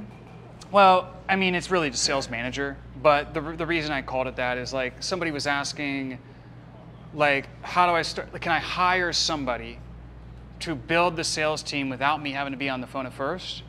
And the answer is yes. I've done that with some clients, but it is very tough to get somebody who's really good, who's good enough to do that and has the autonomy. Because like you're, you're essentially hiring somebody who like is, you know, you're, you're not going to be involved, right? So like they have to know everything, kind of, you know? So like it's almost like if you're going to do that, I would never recommend doing that if you're big ticket sales. But if you have like like uh, like Ryan Serhant's a good example. He has a bunch of different businesses. He has a huge content audience. He's like famous. And high ticket is only a small part of his business. Yes, somebody like that should try to find the one person who can build out the department. And the way you attract that person is through a huge opportunity and a big vision and a big cool brand to work for and money. Right? So you give them a good profit split of the thing, which should be fine because it's kind of new opportunity for you. So like when I consulted uh, Dean and Tony's team, they were they were doing these big launches, and so like they would you've you've probably seen them right like it's once a year they do this crazy like challenge to get millions of people in. Well, they were like super burned out of doing that. They were like, dude, we, we hate this. It's like the worst model ever. We make a lot of money, but like it's just depressing. Like we just hate doing it. And so they were like, we want to build an evergreen team, but obviously Dean's not going to get on there and start selling, right? And so I helped them. It was very easy because it was Tony Robbins, and they had a, they, they, and they could pay a lot. So it was really exciting for people, and for a lot of sales guys, it was like they were like, oh, dude, that's the thing I want to put on my resume. So I was able to go out there and find somebody for them that used my playbook to build their team to about five million a year is where they're at now, but they're trying to get to 10, 20 million, just evergreen. They're doing they're doing huge numbers with their challenge, but their evergreen's doing about 400 grand a month. So I was able to find that person, and then what we did with that person is he did two to three weeks of calls. Same thing as I tell founder. He did two to three weeks of calls. Once he had it down, and he basically had like the script down, and he, he knew what he was selling, how he was selling it, all of that stuff.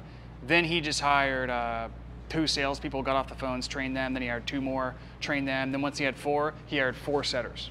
But he was very good. Like he was, it was hard to find this guy. This guy was uh, one of my one-on-one sales coaching clients, and he used to work for Tanner Chidester, and he was really, really, really good. He was like my best student of all time, probably. So he he he was a savage. I was like, this guy's amazing, and he had just started his own sales coaching offer, and I needed this person for Tony Robbins. So I was like, dude, you could do that, or you could just like put this on your resume, and probably make even more money and, and just crush it and like it's it's a really cool story for you and i was able to get him to do that but i'll tell you what we went through two sales managers before we found somebody to do it like it's hard to find somebody who truly knows it because unlike software where it's an older industry our industry is pretty new and big sales teams in our industry are pretty rare so to find somebody with the specialized knowledge that's already have done it before is very tough so that's why I typically recommend, if you can, getting to that three to four sales reps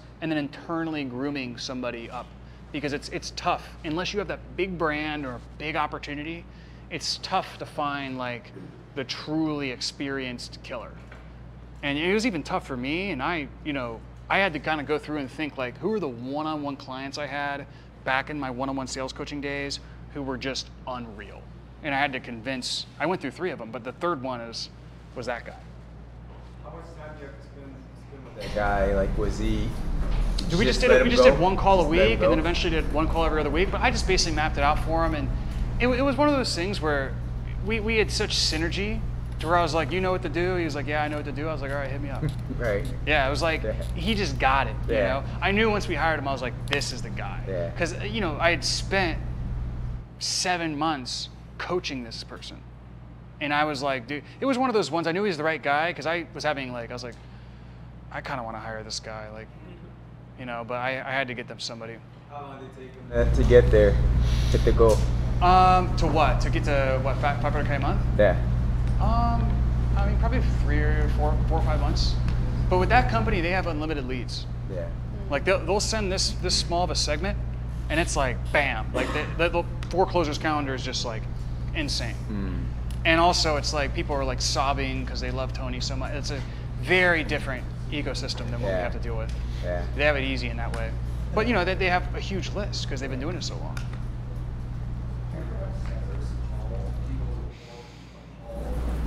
Without going through a setter first, or just like confirm call. Oh, so you mean like as the setter to closer? Yeah. Yeah. So like if, if, if you have a B2B model and it's a little bit more involved, like it's a higher end B2B thing, that can be something you do. In general though, I have always seen that produce worse results. And that's just out of my observation because you get hit with the, the no-show rate twice. And a lot of times the setters just aren't as impressive as the closer. Well, you got to think from the prospect's perspective. They watch this video, they're ready to hear about the offer. But then you give them to a setter who qualifies them, and then like desire fatigues, right? So then like they got to book another call with the closer. They're kind of frustrated because they wanted to hear about it and you didn't tell them about it because the setter can't tell them. And then they, you know, they book them on another. Eh, you see what I mean? Like they get frustrated. The show rate, and then if the setters aren't like, if they're kind of young and not that, that helpful yet, or they're training, it's also a bad first impression. You know, so they're like, oh, this company's kind of weird. I'm out. You know, so I've always found that to produce worse results. And to be honest, I think when you do have a two-call process, generally it works better when the closer does both. But there is definitely companies who do a 1560 model, like if it's more software or like a enterprise thing, B2B to B, and, and, and that, you know, they do do that and it works. Generally though, I would try to just one call close right from the, the application is the setter, right? And then you one call close and you have the, the setters only call the opt-ins. The only thing, so we do have an application grading system and we grade applications one through four, or we score them, and a two, a one is a DQ, a two goes to a setter because it's borderline. So we do do that. That's it though. And, and that's even arguably like, is this the best use of the setter's time? Because sometimes they just get better leads calling people. Like the best leads are the people who don't book because they didn't have time to watch it or whatever, but you give them a call. Who else? You're saying in the group model, you've got setters reaching out to people who check yes, send me info on the offer on the survey, right? Yes. What happens if you've already got a big group? Are you reaching out to people that are Yeah, what I would do is some sort of hand raiser. You've probably seen the comment below if you want the, the blank, right? The easiest thing to do is make that like big purple meme post thing. And it's like, just like, like what I could do, like let's say I had this recording, right? I could say, just presented, you know, uh, just dropped all the details of our $30 million a year setter system at a private mastermind space. Want the recording? And then hashtag like term below. Hashtag, recording below, right? And I would get like a thousand comments or something like that, right? And then the setters just, that's a good way to get that. Um, yeah, I would say that's probably the best way to, to like something to make them say yes, some hand raiser. Yeah, and then you should just do some indirect and direct posts in the group too. So I always do like a case study story and then like DM me if you want the deets or a direct post. And then they just DM you and then you just say, uh, awesome man, happy to help. What's your next week like? Can drop my calendar link if that's easier. So they, they think they're booking with you and you just put the closer's calendar in there. Yeah. I found that you really don't need a setter in your own DMs for Facebook wise. Instagram, uh, obviously, yeah, you do.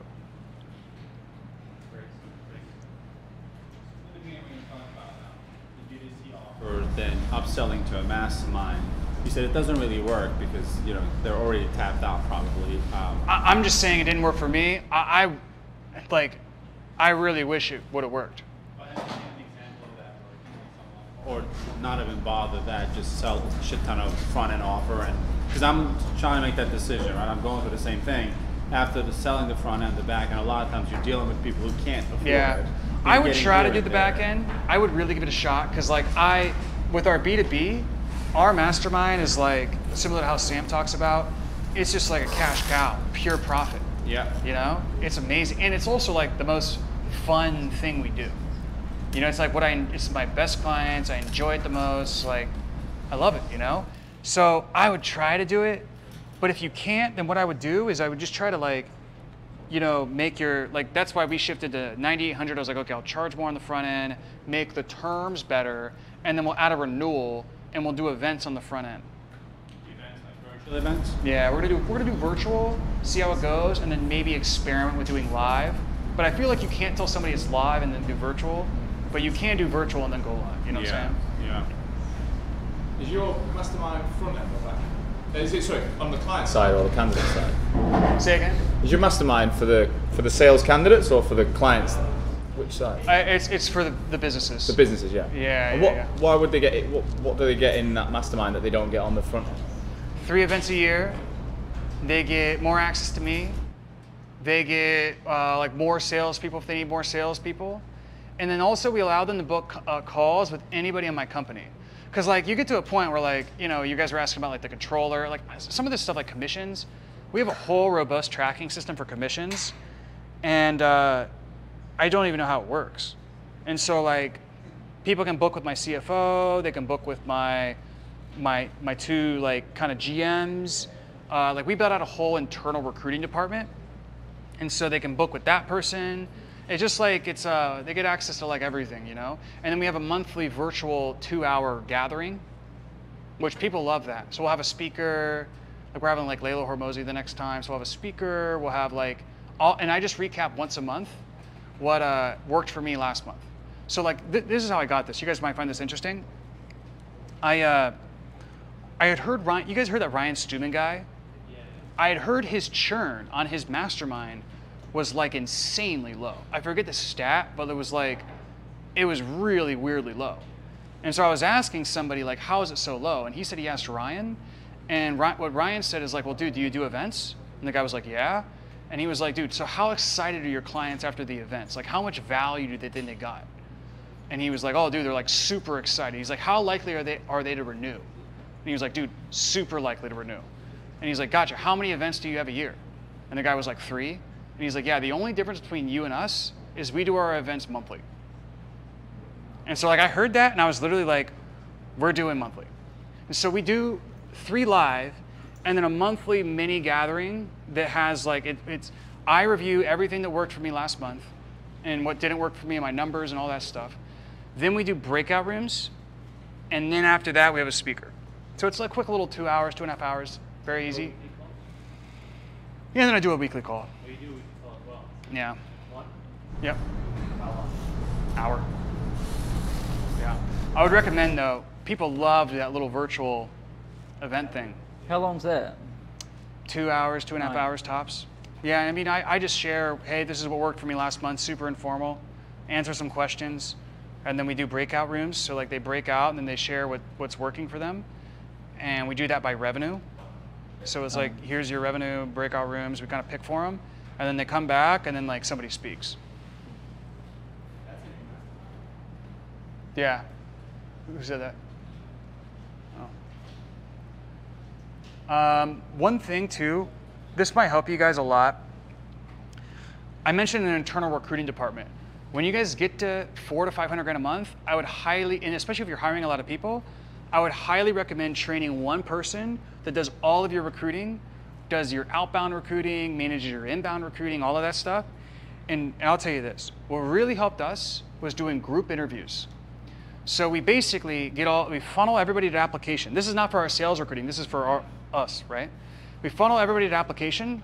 Then we'll get like maybe like a video or send them some homework or some basic stuff. And then once we want to like talk to them, we book them on a group interview, and we'll have like X amount of group interviews a week per position.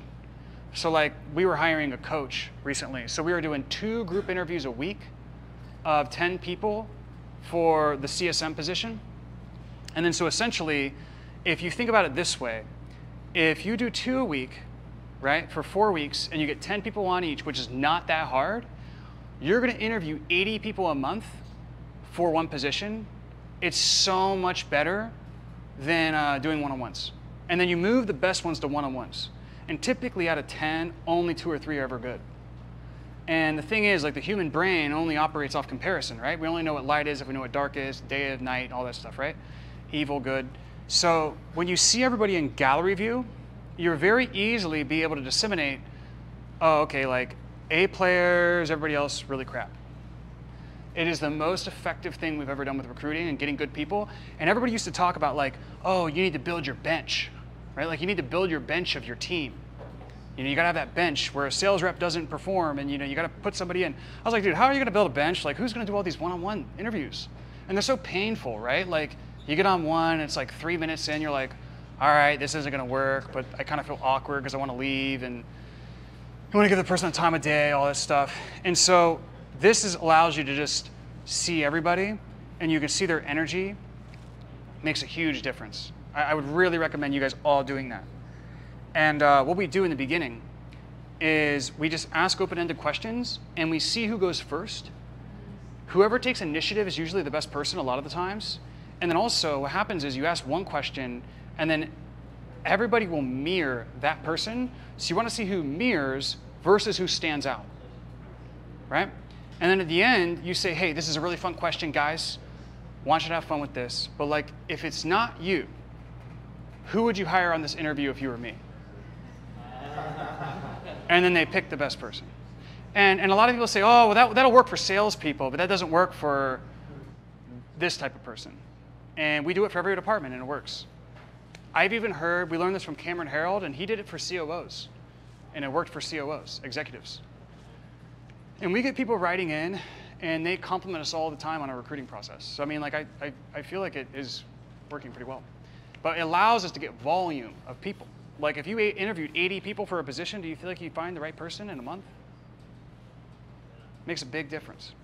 And then you still move them to one-on-ones and you do your whole thing, you know. But it makes the one-on-ones more enjoyable. My, how big's my team? It's like 70 to 80-ish. That's a lot. Do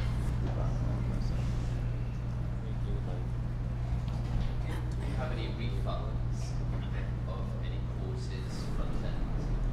How do you then so recalculate that back to the? Yeah, you claw back.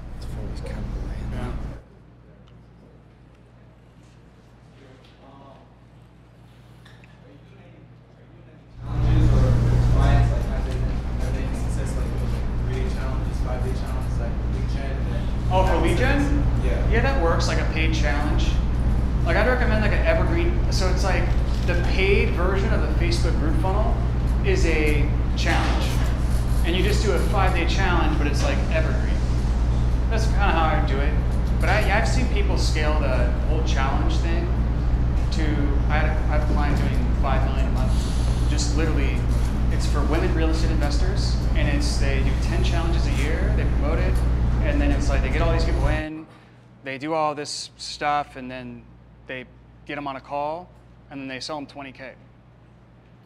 Yeah, I, I looked at the system though. He walked me all through it. It was very complicated because it's like a, they automated it, and it's like uh, uh, you know it's also with Facebook. It just seemed like horrid. I was like, I don't want to do this. So you said you said your one offer is only ninety days the first and then your is that, is that what you said earlier? Yeah, yeah. And then the other, the upsell mastermind, how long how long is that offer? Uh, 12 months. Twelve months. You, what's your uh, what's your retention on that? I mean, how do you The just- mastermind? Yeah. You know, I don't know. Um, yeah, I don't know. But people, we really, we, we, we launched it last year, so I don't even know if we've come up on a year yet. yeah. But the front and the back end conversion is like 30 to 40%. That's yeah, it's really good. Yeah, it's really good. Yeah, if you guys hit B2B or B2C? B2B, yeah, B2C, you're not hitting that. There's no way. Yeah. It- well, What's the percentage on the B to B2C? well, we got rid of the mastermind. What? We got rid of the mastermind. Oh, so it's just one, that's it? Yeah, I mean, we're gonna oh. do renewal, right? But like, that's after a year. So, you do you find that your your ad spend is is you're continuing to grow it, or with your recurring, it kind of balances out, like What, what do you mean ad spend? because you, spend a lot on ads, right? Because you said and, and you said your formula is you look at projections from your sales guys Yeah, yeah, yeah. that rolls all up, and then you base your your ad spend based on that, right? I think that's what Right, you're saying, yeah. right? Your ads budget, Yeah. and then you start pouring in. Yeah, but that's way. new client acquisition. That's not counting anything, anything retention or backend. Right. So, are you looking always to, to continue to push your ad spend up, or are you are you looking at that recurring that's coming in based on re- retention? Yeah, we, we only base the ad spend off of what we want to hit projections wise, new units. Right. Yeah. Do you do you find that you're you're it's a repeat question. Do you find that you're you're um because I know one of the things Sam Sam was like, man, like with ads, like you just like you're always you're always pumping money out because you got to get you know and, and no the old n- not the ads but like the old model which was you know lifetime you're always getting new clients you Yeah. always got to look for new stuff new stuff new stuff but with the recurring model it's not so bad because now you Well, know, the, you got to here- wait here's the main thing. I, here's how I would think about this. Yeah. Right. And I think I do this. I've done this well. Is like, and, and honestly, even though I've done this well, I think ads still suck. However, what what makes you not have to be on the ads hamster wheel with the creatives as much isn't necessarily anything you do with ads.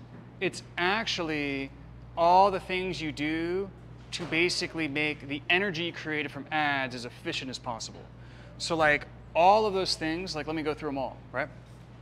It's basically optimizing two metrics. DPL, dollar per lead, and then also DPC, which is dollar per customer. Also LTV, right? Same thing. So how do you make the most out of the ad spend that you have? Setters, obviously, okay, first of all, your closer is closing really good. Right? Second of all, having the highest price point that you can, that you can that you, that you can sell at. Third, setters. Fourth, email. Fifth, SMS. Sixth, having one really good content channel like Sam's recommending. Right? So having a really good YouTube used to nurture the leads. Having a really good Facebook group used to nurture the leads. You see what I mean? So those are the six things for DPO. I'm sure there's more, right? Then on LTV, it's making sure everybody pays their payment plans, right? And getting as high as upsell into the back end and as high as retention. So the reason why I was saying earlier that I ran one ad and one VSL for like eight months untouched is because our sales team was closing really, really well, like all of that stuff, you know? And so it's really about optimizing how much you're getting out of it. And then at a certain point in scale, it always, like right now, it's like I feel like I do gotta stoke it a lot more, but we're, we're at such a bigger point. But on the journey up, we were just like one ad, one VSL, so that was nice. So you talked about also how you're considering because your buddy is uh, using financing. He's doing six million a month Mhm. with the financing. So you're actually considering looking at that. I mean, what what's your? I mean, what ultimately is is it that you're looking to accomplish? Do you well, want, yeah, with that, I mean, the issue with the B2C, the biz op niche, is they don't have money, right? They- they- They're buying so they can get money, which means they don't have it. So what we're doing is like we're doing it for a year, 90 like 9800 for a year with a renewal, and then there's three virtual events, and then you know that way they can 12 pay it, but when we use financing and they 12 pay through the financing, we get paid all up upfront day one, Right. and that helps on the ads. So it would on the, it would help on the cash side. Are you looking also to grow like scale as far as new customers with that as well? You think that's going to open up more opportunity on Yeah, the, because we'll be able to be more profitable, be able to spend more and hire more people, you know, all that stuff. on the B2C side? Yeah. Yeah.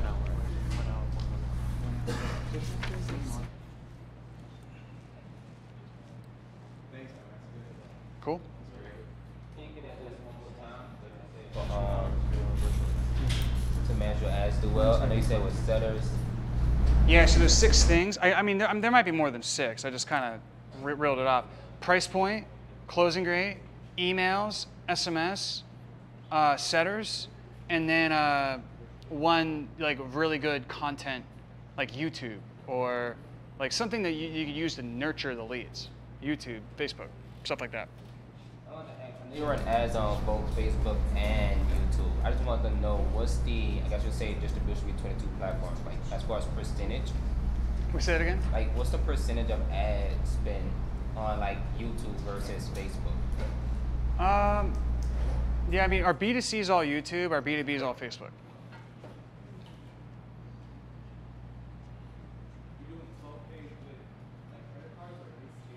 No, it's gonna be a 12 pay through the financing, right? YouTube, B2B, Facebook. B2B Facebook, yeah. But your, you, you said yours is working well on YouTube. Maybe you could show me what you're, you know, we'll, we'll trade. Because I, I, I did some on YouTube and our cost per lead was quite good, but we didn't really get that good of uh, applications. Like we, it was okay, but it wasn't great. What do you get per lead? We got like 40 bucks. That was like 30, yeah. Yeah, but our our uh, appointments weren't that great. But you know, who knows? Maybe we need to. We were doing keywords. You do keywords. You do custom search. Keywords. Keyword, yeah. Yeah. I built for Mosey's audience. Yeah. I mean, everybody's targeting that one right now. Yeah. employees. I mean, Sam talks about like not doing the things you want to do. Do you feel like you're out of the operations, or do you feel like you're managing people all the time and just just Yeah, getting re- quality? now I'm relatively out, right? So there, there's here- here's how it goes. Like in the beginning, you're like making money, but you're kind of like you got the small team, right? And then you like for me, it was like 300 grand a month to probably like a million a month, where it was like hate my life, hate my life, hate my life, hate my life, like just grinding, right? Just like man, I was managing every team. So I was like managing the client success team. I was managing the uh, the sales team and the marketing team. Like I was just kind of like this manager, right? I, like didn't have a lot of leaders. And then eventually I kind of like I got my like COO, I got my CFO, I got you know one guy to run the B2B, one guy to run the B2C, and all I did was the marketing. And once I got to that point, it was actually much better than even in the early days. So it's kind of like it's like good, and then it's like massive suck, and then like you kind of escape it, and then it's like good again, you know, because like you have help, right? That's how I explain it. And it might not be like that for everybody. That's how it was for me. Oh, I mean, yeah, I was managing the sales team till like 1.5 million a month. Yeah, but that's also what I'm, what I'm best at, right? So like, to me, I was like, wow, I should just do this. You know, but I, I- it got to the point where I was like, I had such good people, where I almost felt like I was like being kind of stupid. I was like, man, like, I, I don't know. I just felt like a, I was like the guy who came on the sales meetings and was like a grouch, and was like mean and just like, and I was like, ah, like, because I didn't have the relationship with the reps as much anymore. So I was like, oh, okay, it's time for you guys to do it, and that's you know, it's a great experience, you know, because then like, they're just doing it, and you don't have to manage them. Yeah. I also do find like it's really hard to be super creative and also like a manager, right? It's very different energies, you know? So like I think the best thing you do is like you validate your offer and your acquisition system. And then once you get like the, the couple ads that work, the VSL or whatever that works, and uh, your offer works, fulfillment scalable, you just like rocket that as hard as you can and max it out, and you go full-time manager. You're just managing, managing, managing, managing until you can build these leaders up. Then you give the responsibility to them slowly. It's like a volume knob, not a light switch. And then you have you get your time back to where you can start being creative again. And like you're like, oh man, the product needs work. Product, right? Oh man, like our marketing CPA, you know, everything's way higher, right? So you got to redo the marketing. And then you can kind of that's my role now. And I enjoy that the most probably.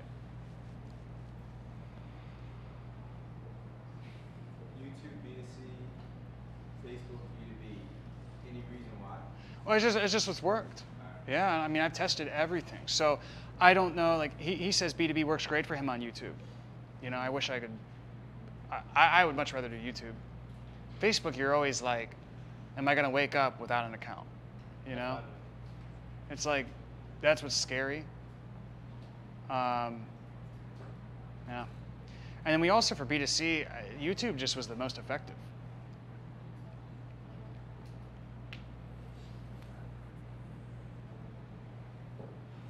Try TikTok ads? Yeah, we did. It was it was okay. For B2C or B2B? Yeah, I just feel like it was slightly worse for B2C. But we tried, we tried it for both. B2B, now, B2C it was slightly worse than YouTube. But you know, I've heard people doing really well. I mean, we hired Max Finn, and he's like the top guy for that apparently. So, and he was a great guy. Like I liked Max a lot. Um, and we, we followed what he said to do. He like consulted my media buyers, and um, we just found the rate was higher, the quality was less, and uh, and it was just very. We, we kept getting shut down, and we kept getting banned. But I will say, the first seven days we were on there, we were getting ten dollar calls. Yeah, and, and we never saw that again. I don't know what happened. It was some sort of weird thing. How many media buyers do you have? One. Oh, really? You Yeah, manage there's one guy who runs everything. Nice. Yeah. So he's a stud.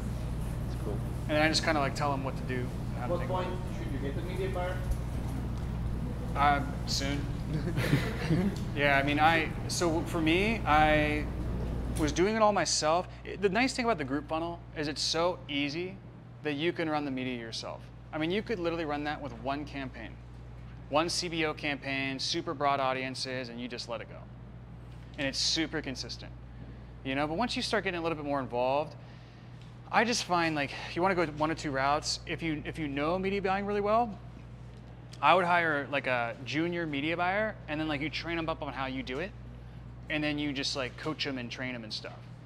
If you're like I don't really know media that well, you just hire an agency, and just make sure you try to hire a good one. Which is hard, right? But like the thing is, if you know media buying, you can kind of know if the agency is good or not.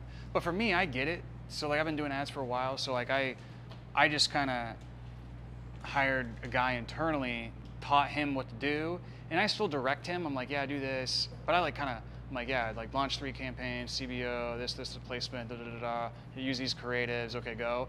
Because what, what really sucks is the reporting and the setup. That's what really gets you. So yeah, you can find somebody on Upwork, just make them a good offer, and just be like, yo, work for me full time. You know.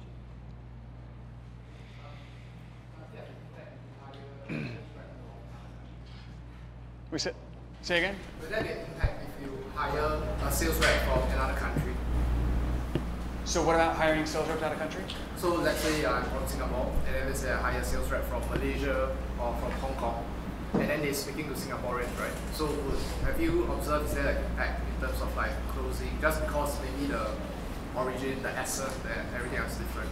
So what I've found is, so if I understood it, I mean, there's, there's nothing wrong with hiring internationally as long as you can keep all your reps on one time schedule in the sense of like, the main thing is they all got to be able to make your morning meeting. Yeah, or your, whatever time you do your meeting. I mean, you could do your meeting at night. Like it doesn't really matter. It's just they all got to be able to make that meeting. Yeah. Would have, would they have a different impression? Uh, Different what? Like impression of the sales rep calling. May- maybe. I don't know. Yeah. Nice. Cool.